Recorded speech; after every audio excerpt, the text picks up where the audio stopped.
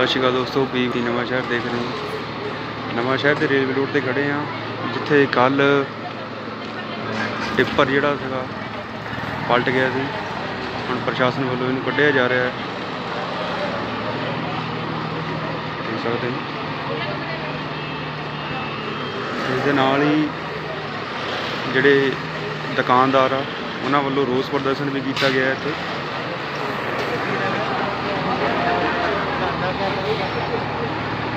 Paper ਨੂੰ ਕਢਾਇਆ ਜਾ ਰਿਹਾ ਇੱਥੇ।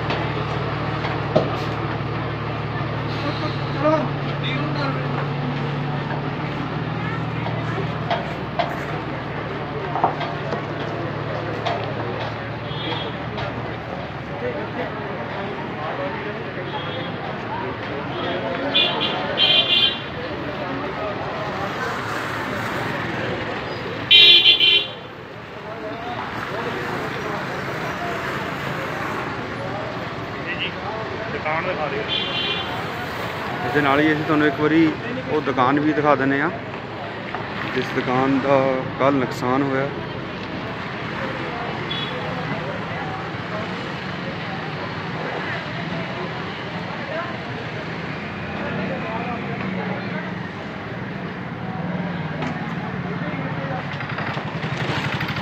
ਰੇਤਾ ਜਿਹੜਾ ਤੁਸੀਂ ਦੇਖ ਸਕਦੇ ਹੋ, ਸਾਰਾ।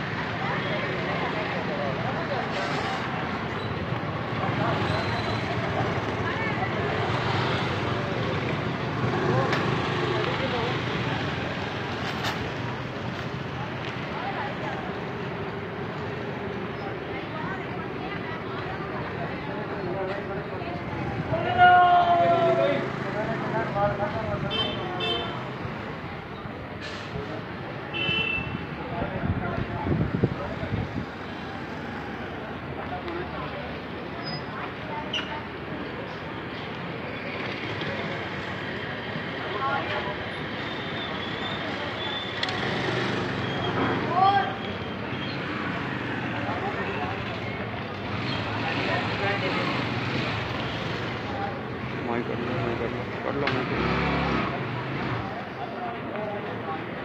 ਤੁਸੀਂ ਦੇਖ ਸਕਦੇ ਹੋ। ਇੱਥੇ ਜਿਹੜਾ ਸੀਗਾ ਪੇਪਰ ਪਲਟ ਗਿਆ ਸੀ।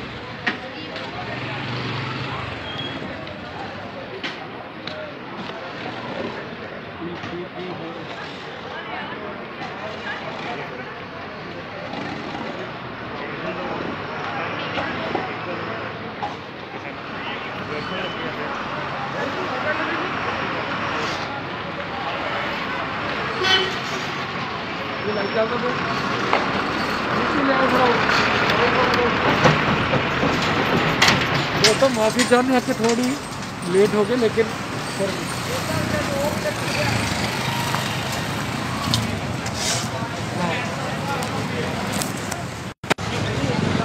ਸੋ ਇਹ ਐਗਜ਼ੈਕਟਲੀ ਸਿਚੁਏਸ਼ਨ ਕਿਉਂਕਿ ਕੱਲ ਰਾਤ ਵੀ ਮੈਂ ਇੱਥੇ ਆ ਕੇ ਲਾਈਵ ਤੁਹਾਨੂੰ ਦਿਖਾਇਆ ਸੀ ਇਹ ਐਗਜ਼ੈਕਟਲੀ ਸਿਚੁਏਸ਼ਨ ਹੈ ਜਿੱਥੇ ਕੱਲ ਜਿਹੜਾ ਟਿੱਪਰ ਉਹ ਪਲਟ ਗਿਆ ਸੀ ਆਹ ਦੁਕਾਨ ਹੈ ਜਿਹਦੇ ਕਰਕੇ ਬਜ਼ੁਰਗ ਕੱਲ ਮਾਇੂਸ ਸੀਗੇ ਹਤਾਸ਼ ਸੀਗੇ ਨਾਰਾਜ਼ ਸੀ ਔਰ ਉੱਪਰ ਉਹ ਘਰ ਹੈ ਵੀ ਜੇ ਦਿਖਾਓ ਉਹਨਾਂ ਦੇ ਘਰ ਦੇ ਅੰਦਰ ਕਰੰਟ ਆ ਗਿਆ ਸੀ ਰਾਤੀ।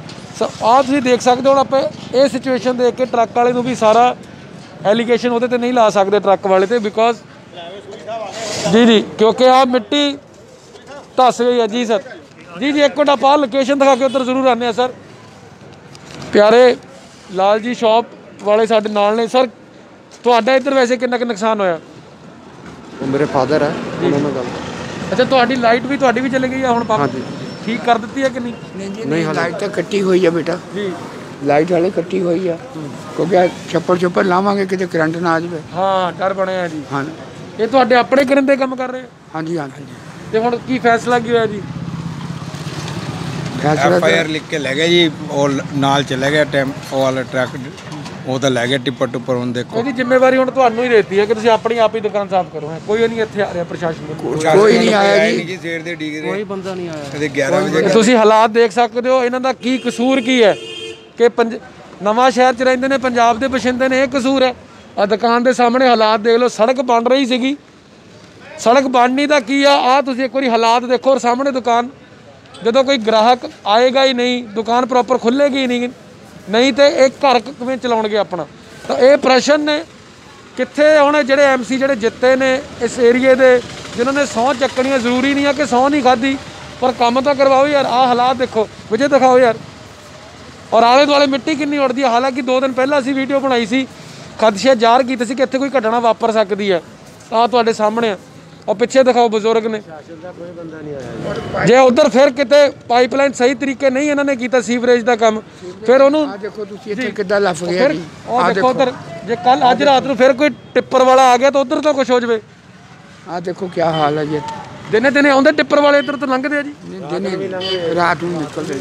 ਰਾਤ ਨੂੰ ਆਇਆ ਰਾਤ ਨੂੰ ਲੰਘ ਇਹ ਰਾਤ ਨੂੰ ਅਸੀਂ ਆ ਗਏ ਸੀਗੇ ਜੀ ਇੱਥੇ ਹੀ ਸੀਗੇ ਅਸੀਂ ਰਾਤੀ। ਕੁਝ ਤੁਸੀਂ ਕਹਿਣਾ ਚਾਹੋ ਜੀ? ਪ੍ਰਸ਼ਾਸਨ ਵਾਲੇ ਆਣਾ ਚਾਹੀਦਾ ਸੀ ਐਮਐਲਏ ਸਾਹਿਬ ਨੂੰ ਆਣਾ ਚਾਹੀਦਾ ਸੀ।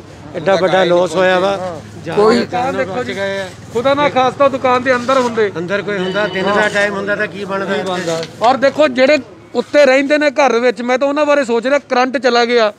ਬੱਚੇ ਕਿਸੇ ਚੀਜ਼ ਨੂੰ ਹੱਥ ਲਾ ਦੇਣ ਤਾਰ ਨੂੰ ਮਤਲਬ ਵੈਸੇ ਕੋਈ ਚੀਜ਼ ਕੱਪੜੇ ਸੁੱਕਣੇ ਪਾਏ ਹੁਣ ਹੱਥ ਲੱਗ ਜਾਣ। ਉਹ ਵੀ ਆਪ ਫੋਨ ਕੀਤਾ ਜੀ ਬਿਜਲੀ ਵਾਲੇ ਰਿਕੁਐਸਟ ਕੀਤੀ। ਕਿ ਇਹਨੂੰ ਡਿਸਕਨੈਕਟ ਕਰ ਦਿਓ। ਜੀ। ਕਿ- ਤੇ ਕੀ ਪਤਾ ਕਿ ਕਨੈਕਟ ਆ ਜਾਵੇ ਹਾਂ ਪਰ ਹੱਲੇ ਬਿਜਲੀ ਆਈ ਨਹੀਂ। ਬਿਜਲੀ ਅਸੀਂ ਉਹਨੂੰ ਕਿਹਾ ਜੀ ਕਿ ਕਿਉਂਕਿ ਇਹ ਜਿੰਨੀ ਦੇ ਰਾਹ ਨਹੀਂ ਹੁੰਦਾ ਜੀ ਉਹ ਸਾਫ਼ ਨਹੀਂ ਹੁੰਦਾ। ਔਰ ਇਸ ਕਾ ਕਿਸੇ ਸ਼ਾਰਟ ਲੱਗ ਤਾਂ ਹੈ ਚਲੋ ਮੈਂ ਤੁਹਾਡੀ ਪਰ ਕੰਮ ਤਾਂ ਪਹਿਲ ਦੇ ਆਧਾਰ ਤੇ ਕਰਨੇ ਚਾਹੀਦੇ ਕਿ ਨਹੀਂ ਕਰਨੇ ਚਾਹੀਦੇ? ਨਹੀਂ ਆਂਦਾ ਤੁਹਾਨੂੰ ਆਇਆ ਜੀ ਹਲੇ ਤੱਕ ਕੋਈ। ਦੇਖੋ 11 ਵੱਜ ਗਏ ਨੇ 11 ਤੋਂ ਵੱਧ ਦਾ ਸਮਾਂ ਹੋ ਗਿਆ ਪਰ ਹਾਲੇ ਤੱਕ ਕੋਈ ਨਹੀਂ ਆਇਆ। ਆਇਆ ਕੋਈ ਰਾਤੀ ਪੂਰੀ ਟਰਬਲ ਸੀਗੀ ਰਾਤੀ ਵੀ ਅਸੀਂ ਵੀਡੀਓ ਅਪਲੋਡ ਕਰ ਦਿੱਤੀ ਸੀਗੀ। 12 1 ਵਜੇ ਤੱਕ ਇੱਥੇ ਲੋਕ ਖੜੇ ਰਹੇ ਨੇ ਪੁਲਿਸ ਪ੍ਰਸ਼ਾਸਨ ਪਹੁੰਚ ਗਿਆ ਸੀ। ਰਾਤ ਪਹੁੰਚ ਗਏ ਸੀ ਲੇਕਿਨ ਸਵੇਰੇ ਕਾਰਵਾਈ ਕੋਈ ਨਹੀਂ ਹੋਈ ਹੈ। ਤਾਂ ਇਹ ਮਨਾਂ 'ਚ ਖਦਸ਼ੇ ਨੇ। ਔਰ ਇੱਕ ਵਾਰੀ ਫਿਰ ਤੋਂ ਮੈਂ ਤੁਹਾਨੂੰ ਜ਼ਰੂਰ ਦੂਜੇ ਪਾਸੇ ਲੈ ਇਹਨਾਂ ਦੇ ਆਪਣੇ ਕਰਿੰਦੇ ਕੰਮ ਕਰ ਰਹੇ ਨੇ ਕਿਉਂਕਿ ਸਾਫ਼ ਕਰਕੇ ਤਾਂ ਦੁਕਾਨ ਤੇ ਬੈਠਣਗੇ ਕਿ ਨਹੀਂ? ਪਰ ਜਦੋਂ ਆਹ ਮੋਰੇ ਲੋਕੇਸ਼ਨ ਸਾਫ਼ ਨਹੀਂ ਹੋਏਗੀ ਤਾਂ ਕਿਵੇਂ ਇਹਨਾਂ ਦੀ ਦੁਕਾਨ ਦੇ ਅੰਦਰ ਗ੍ਰਾਹਕ ਆਏਗਾ? ਉਹ ਦੇਖੋ ਉਹਨਾਂ ਦੇ ਬਿਨਾਂ ਵਜ੍ਹਾ ਤੋਂ ਉਹਨਾਂ ਨੂੰ ਕੰਮ ਕਰਨਾ ਪੈ ਰਿਹਾ ਰਾਤ ਨੂੰ। ਦੁਕਾਨ ਬੰਦ ਕਰਕੇ ਗਏ ਆਰਾਮ ਨਾਲ ਆਪਣੇ ਘਰ ਗਏ ਆ। ਲੋਕਡਾਊਨ ਦੀ ਪੂਰੀ ਪ੍ਰਕਿਰਿਆ ਨੂੰ ਫੋਲੋ ਕਰ ਰਹੇ ਨੇ ਆਮ ਲੋਕ।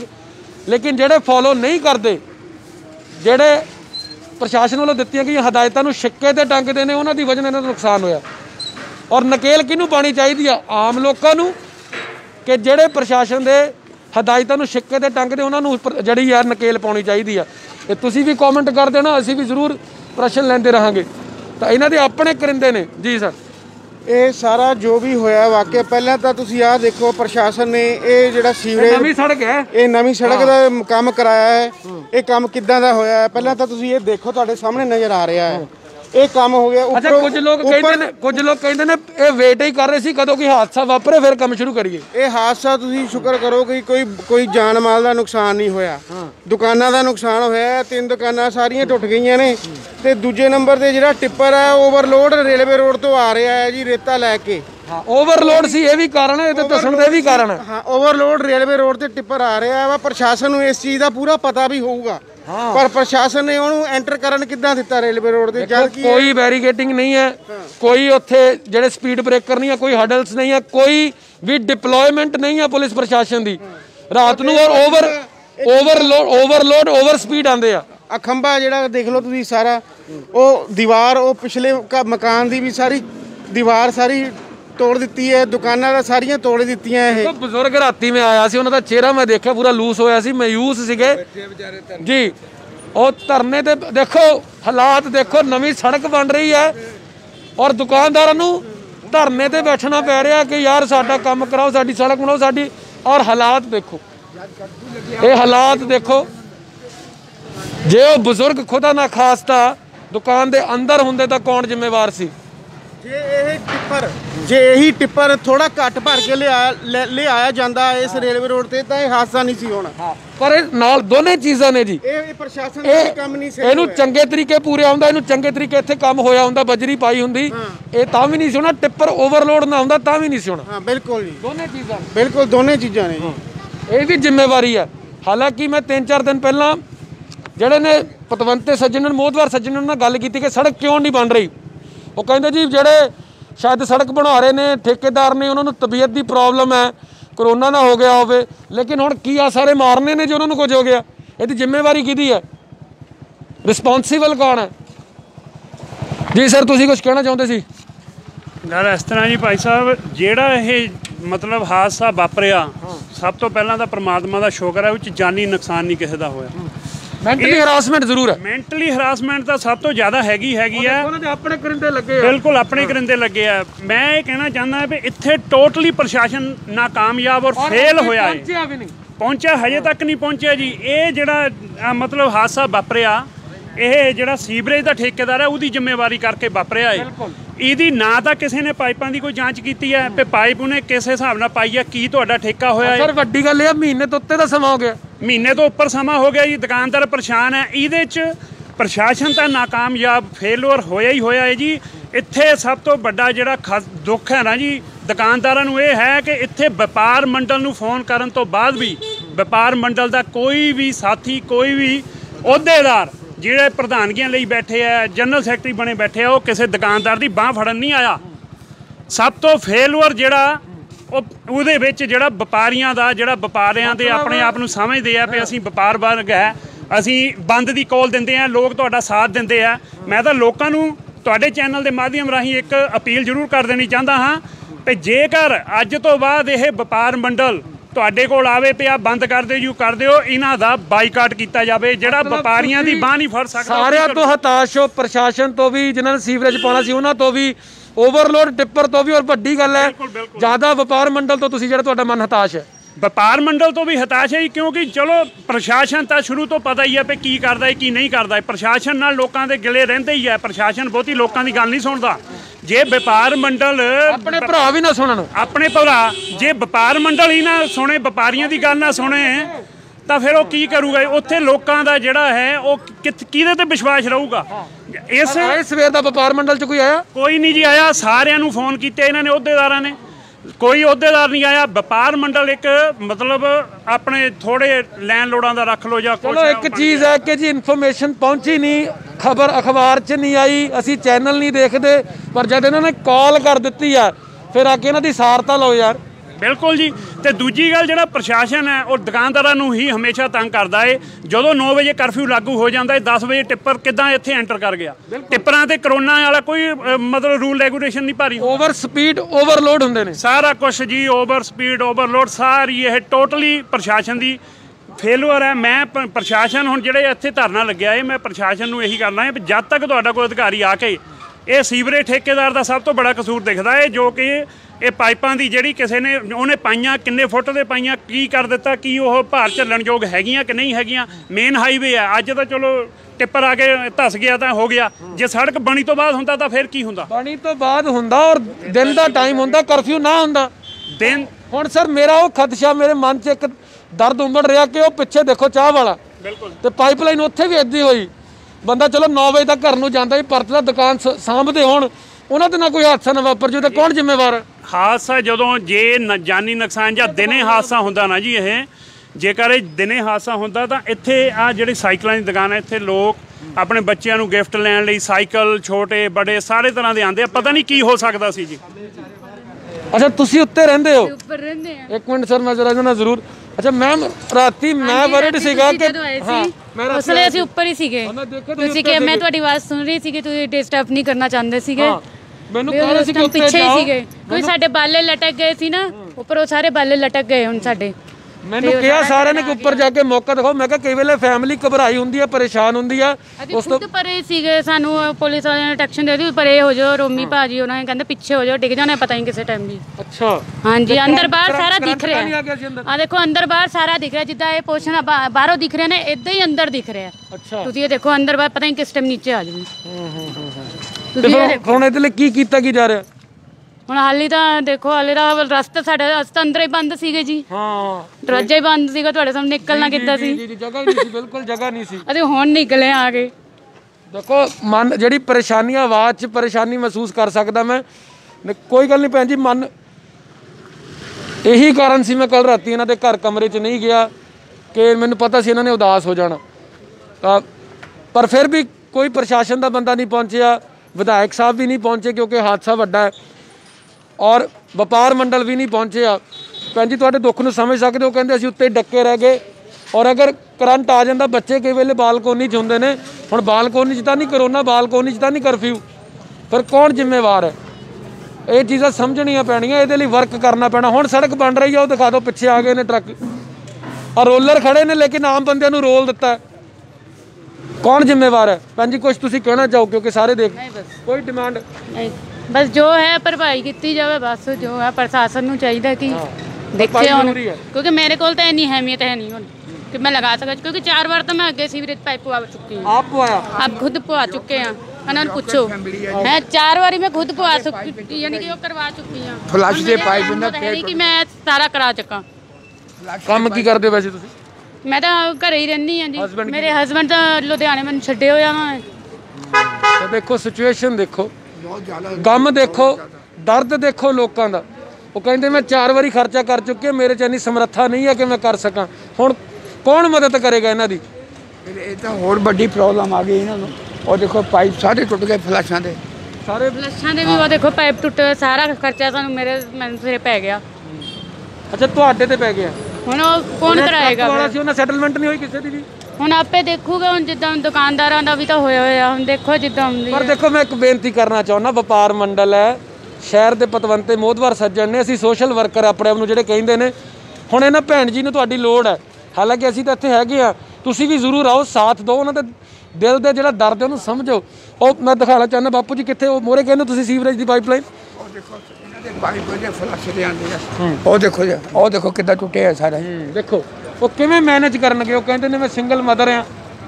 ਹਸਬੰਡ ਦੇ ਅਲੱਗ ਰਹਿੰਦੇ ਨੇ ਹਸਬੰਡ ਤੋਂ। ਉੱਥੋਂ ਸਾਰੇ ਪਾਈਪ ਟੁੱਟ ਗਏ ਜੀ। ਅੱਛਾ ਤੁਹਾਨੂੰ ਰੋਜ਼ਾਨਾ ਆ ਵੀ ਇੱਦਾਂ ਚੱਕ ਕੇ ਦੁਕਾਨ ਖੋਲਣੀ ਪੈਂਦੀ ਸੀ? ਇਹਦੇ ਤੇ ਟਿੱਪਰ ਨੇ ਮਾਰਿਆ ਜੀ। ਅੱਛਾ ਟਿੱਪਰ ਨੇ ਮਾਰਿਆ ਤਾਂ ਦੁਕਾਨ ਦੇਖੋ ਕਿਵੇਂ ਉਹ ਬੰਦ ਹੋ ਗਈ ਹੈ ਹਾਂਜੀ। ਇਹ ਇਹਨਾਂ ਦੀ ਵੈਸੇ ਉੱਪਰ ਸ਼ੈੱਡ ਹੋਣੀ ਨਾ ਇੱਕ ਤਰ੍ਹਾਂ ਦੀ। ਹਾਂਜੀ ਧੁੱਪ ਨਾ ਆਵੇ। ਧੁੱਪ ਨਾ ਆਵੇ ਉਹ ਤੋਂ ਵਿਆਸ ਦੇਖੋ ਉਹ ਟਿੱਪਰ ਕਰਕੇ ਟੁੱਟ ਕੇ ਟਿੱਪਰ ਕਿੰਨਾ ਉੱਪਰ ਤੱਕ ਹੋਏਗਾ ਕਿੰਨਾ ਓਵਰਲੋਡ ਹੋਏਗਾ? ਔਰ ਵਿੱਚ ਕੰਧਾ ਤੱਕ ਪਾਈਪ ਸਾਰੇ। ਆ ਦੇਖੋ ਸਰ ਇਸੇ ਕਰਕੇ ਨਾ ਮੈਂ ਵੀਡੀਓ ਪਾਣਾ ਉਹਨਾਂ ਤੇ ਕਹਿਣਾ ਉਹਨਾਂ ਕਿ ਇਹਨਾਂ ਦੀ ਸਪੀਡ ਨੂੰ ਲਿਮਟ ਤੱਕ ਲੈ ਕੇ ਜਾਇਆ ਜਾਵੇ ਕਿਉਂਕਿ ਜੇ ਇਹ ਇੱਕ ਇੱਟਾਂ ਨਾਲ ਬਣੇ ਘਰ ਦਾ ਇਹ ਹਾਲ ਕਰ ਸਕਦੇ ਜੇ ਥੱਲੇ ਕੋਈ ਛੋਟੀ ਗੱਡੀ ਆ ਗਈ ਕੋਈ ਛੋਟਾ ਬੱਚਾ ਆ ਗਿਆ ਫਿਰ ਕੀ ਹੋਏਗਾ?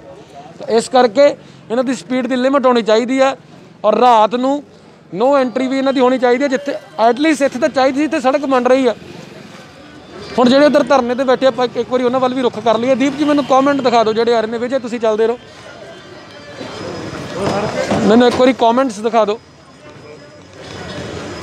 ਸੋ ਦੋਸਤੋ, ਇਹ ਕੀ ਕਰੀਏ? ਆਵਾਜ਼ ਜੇ ਬੁਲੰਦ ਕਰੀਏ ਤਾਂ ਕਿਹਾ ਜਾਂਦਾ ਕਿ ਕਿਉਂ ਤੁਸੀਂ ਇੰਨਾ ਬੋਲਦੇ ਹੋ?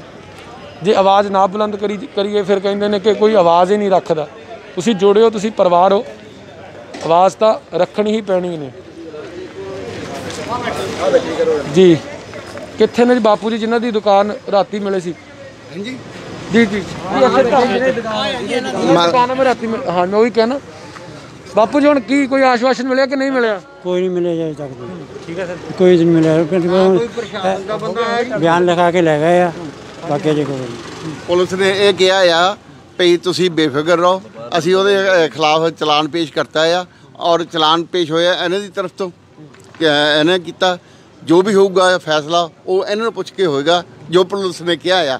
ਕੱਲ ਨੂੰ ਪੁਲਿਸ ਕੀ ਕਰਦੀ ਆ ਕੀ ਨਹੀਂ ਕਰਦੀ ਇਹ ਪਰਮਾਤਮਾ ਜਾਣਦਾ ਹੈ ਤੁਸੀਂ ਨਾਲ ਖੜੇ ਹੋਏ ਵੱਡੀ ਗੱਲ ਹੈ। ਬਿਲਕੁਲ ਸਾਰਾ ਬਾਜ਼ਾਰ ਇਹਨਾਂ ਦੇ ਨਾਲ ਖੜਾ ਆ। ਔਰ ਸਭ ਕੁਝ ਇਦਾਂ ਹੀ ਜਿੰਨੇ ਕੋਰ ਹਾਈ ਕਮਾਂਡ ਹੋਰ ਇਹਨਾਂ ਦੇ ਆਲਾ ਅਫਸਰ ਆ ਕੇ ਗੱਲ ਨਹੀਂ ਕਰਦੇ। ਪਿੱਛੇ ਇੱਕ ਭਾਈ ਸਾਹਿਬ ਨਾਲ ਗੱਲ ਹੋਈ ਸੀ ਕਹਿੰਦੇ ਸਾਡੇ ਮਨ ਦੀ ਇੱਕ ਪੀੜ ਹੈ ਨਾ ਪ੍ਰਸ਼ਾਸਨ ਪਹੁੰਚਿਆ ਹੈ, ਨਾ ਵਿਧਾਇਕ ਸਾਹਿਬ ਪਹੁੰਚੇ ਆ ਨਾ ਹੀ ਵਪਾਰ ਮੰਡਲ ਪਹੁੰਚਿਆ ਇਹ ਗੱਲ ਬਿਲਕੁਲ ਸਹੀ ਹੈ ਨਾ ਕੋਈ ਪ੍ਰਸ਼ਾਸਨ ਦਾ ਬੰਦਾ ਇੱਥੇ ਆਇਆ ਨਾ ਕੋਈ ਇੱਥੇ ਵਿਧਾਇਕ ਆਇਆ ਨਾ ਕੋਈ ਕਮੇਟੀ ਦਾ ਬੰਦਾ ਆਇਆ ਨਾ ਕੋਈ ਵਪਾਰ ਮੰਡਲ ਦਾ ਬੰਦਾ ਆਇਆ ਸਿਰਫ ਸਾਡੇ ਜਿਹੜਾ ਸੜਕ ਬਣਾ ਰਿਹਾ। ਨਾ ਕੋਈ ਠੇਕੇਦਾਰ ਆਇਆ। ਕੋਈ ਵੀ ਨਹੀਂ ਆਇਆ। ਦੇਖੋ ਵਿਧਾਇਕ ਸਾਹਿਬ ਨੂੰ ਬੇਨਤੀ ਤਾਂ ਹੈ ਠੇਕੇਦਾਰ ਨੂੰ ਬੇਨਤੀ ਤਾਂ ਹੈ ਕਿਉਂਕਿ ਸੜਕ ਬਣ ਰਹੀ ਹੈ। ਨਵੀਂ ਬਣ ਰਹੀ ਹੈ ਜੇ ਹੁਣ ਇਹ ਹਾਲਾਤ ਨੇ ਤਾਂ ਬਾਅਦ ਚ ਕੌਣ ਜ਼ਿੰਮੇਵਾਰ ਹੈ? ਨਹੀਂ ਇਸ ਤੋਂ ਇਲਾਵਾ ਸੜਕ ਦਾ ਤਾਂ ਚਲੋ ਹੋਊਗਾ ਹੋਊ ਪਹਿਲਾਂ ਸਾਡੇ ਦੁਕਾਨਦਾਰ ਭਰਾਵਾਂ ਦਾ ਜਿਹੜਾ ਨੁਕਸਾਨ ਹੋਇਆ ਨਾ ਦੇਖੋ ਪਤਾ ਨਹੀਂ ਕਿੰਨੇ ਦਿਨ ਦੁਕਾਨ ਬੰਦ ਰਹਿਣੀ ਆ। ਇਹਨਾਂ ਦਾ ਕਸੂਰ ਤਾਂ ਕੋਈ ਨਹੀਂ ਹੈ। ਇਹਨਾਂ ਦਾ ਕਸੂਰ ਕੋਈ ਇਹ ਨਹੀਂ ਕਿਹੜਾ ਇਹ ਕਿਹੜਾ ਦੁਕਾਨ ਨੂੰ ਸੜਕ ਤੇ ਗੱਬੇ ਲੈ ਕੇ ਆ ਗਏ ਬਿਲਕੁਲ। ਇਸ ਕਰਕੇ ਦੁਕਾਨਾਂ ਦਾ ਨੁਕਸਾਨ ਜਿਹੜਾ ਆ ਦੇਖੋ 5 ਦਿਨ 10 ਦਿਨ 20 ਦਿਨ ਠੀਕ ਹੋ ਕੇ ਵੀ ਬੰਦ ਦਿਨ ਲੱਗ ਜਾਣੇ ਆ। ਉਹ ਕੌਣ ਦਊਗਾ ਰੋਟੀ? ਇਸ ਤੋਂ ਬਾਅਦ ਇੱਕ ਹੋਰ ਵੀ ਗੱਲ ਆ ਵੀ ਜਦੋਂ ਤੱਕ ਇਹਨਾਂ ਦੀ ਦੁਕਾਨ ਨਹੀਂ ਬੰਦੀ ਉਹਦਾ ਜ਼ਿੰਮੇਵਾਰ ਕੌਣ ਆ? ਇਹਨਾਂ ਦੀ ਰੋ- ਘਰ ਦੀ ਰੋ- ਰੋ- ਇਹਨਾਂ ਦੀ ਘਰ ਦੀ ਰੋਜੀ ਰੋਟੀ ਇਸ ਚੀਜ਼ ਤੇ ਡਿਪੈਂਡ ਆ। ਇਹ ਕੀ ਕਰੂਗੇ? ਆਪਣੇ ਘਰ ਕੀ ਲੈ ਕੇ ਜਾਓਗੇ ਨਿਆਣਿਆਂ ਨੂੰ ਕੀ ਦੋਗੇ ਆਪ ਕੀ ਕਰੋਗੇ? ਐਮਐਲਏ ਸਾਹਿਬ ਵੋਟਾਂ ਮੰਗਣ ਤਾਂ ਆ ਜਾਂਦੇ ਆ। ਜਾਂ ਕਮੇਟੀਦਾਰ ਵੋਟਾਂ ਮੰਗਣ ਤਾਂ ਆ ਜਾਂਦੇ ਵੀ ਸਾਨੂੰ ਵੋਟਾਂ ਪਾਓ ਜੀ ਅਸੀਂ ਤੁਹਾਡੇ ਕੰਮ ਕਰਾਂਗੇ। ਜਿਹੜੇ ਹੁਣ ਇਸ ਏਰੀਏ ਦੇ ਐਮਸੀਓ ਪਹੁੰਚੇ? ਨਹੀਂ ਕੋਈ ਵੀ ਨਹੀਂ ਪਹੁੰਚਿਆ ਅਜੇ ਤੇ ਇਹ ਤਾਂ ਨਹੀਂ ਕਾਰਨ ਕਿ ਸੌ ਨਹੀਂ ਚੱਕੀ। ਗੱਲ ਉਹ ਉਹ ਸ਼ਖਸ ਖੜੇ ਆ, ਜਿਹੜੇ ਇੱਥੇ ਇਲਾਕੇ 'ਚ ਖੜੇ ਸੀਗੇ, ਉਹ ਸਵੇਰ ਦੇ ਉੱਤੇ ਖੜੇ ਆ, ਜਦ ਕਿ ਹਾਰੇ ਹੋਏ ਕੈਂਡੀਡੇਟ ਆ, ਪਰ ਫਿਰ ਵੀ ਉਹ ਆਪਣੇ ਟਾਈਮ ਦੇ ਰਹੇ ਆ। ਅੱਛਾ ਹਾਰੇ ਹੋਏ ਕੈਂਡੀਡੇਟ ਖੜੇ ਆ। ਹਾਂ ਇੱਥੇ ਸਾਡੇ ਬਖਸ਼ੀ ਹੋਣੀ ਆ। ਜੀ ਜੀ।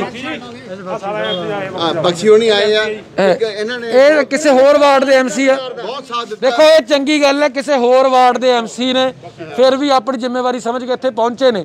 ਯੋਗਦਾਨ ਪਾ ਰਹੇ ਨੇ ਲੇਕਿਨ ਜਿਹੜੇ ਇਸ ਵਾਰਡ ਦੇ ਐਮਸੀ ਨੇ ਉਹ ਨਹੀਂ ਪਹੁੰਚੇ। ਇਹ ਵੀ ਇਹਨਾਂ ਦੇ ਮਨ ਦਾ ਖਦਸ਼ਾ ਜੀ ਬਖਸ਼ੀ ਜੀ ਅੱਗੇ ਆ ਜਾਓ ਲਾਇਰ ਵੀ ਹੋ ਤੁਸੀਂ। ਤੁਸੀਂ ਦੱਸੋ ਹੁਣ ਸਾਨੂੰ ਸਮਝਾਓ ਇਹਨਾਂ ਦੀ ਕਿਵੇਂ ਮਦਦ ਹੋ ਸਕਦੀ ਹੈ?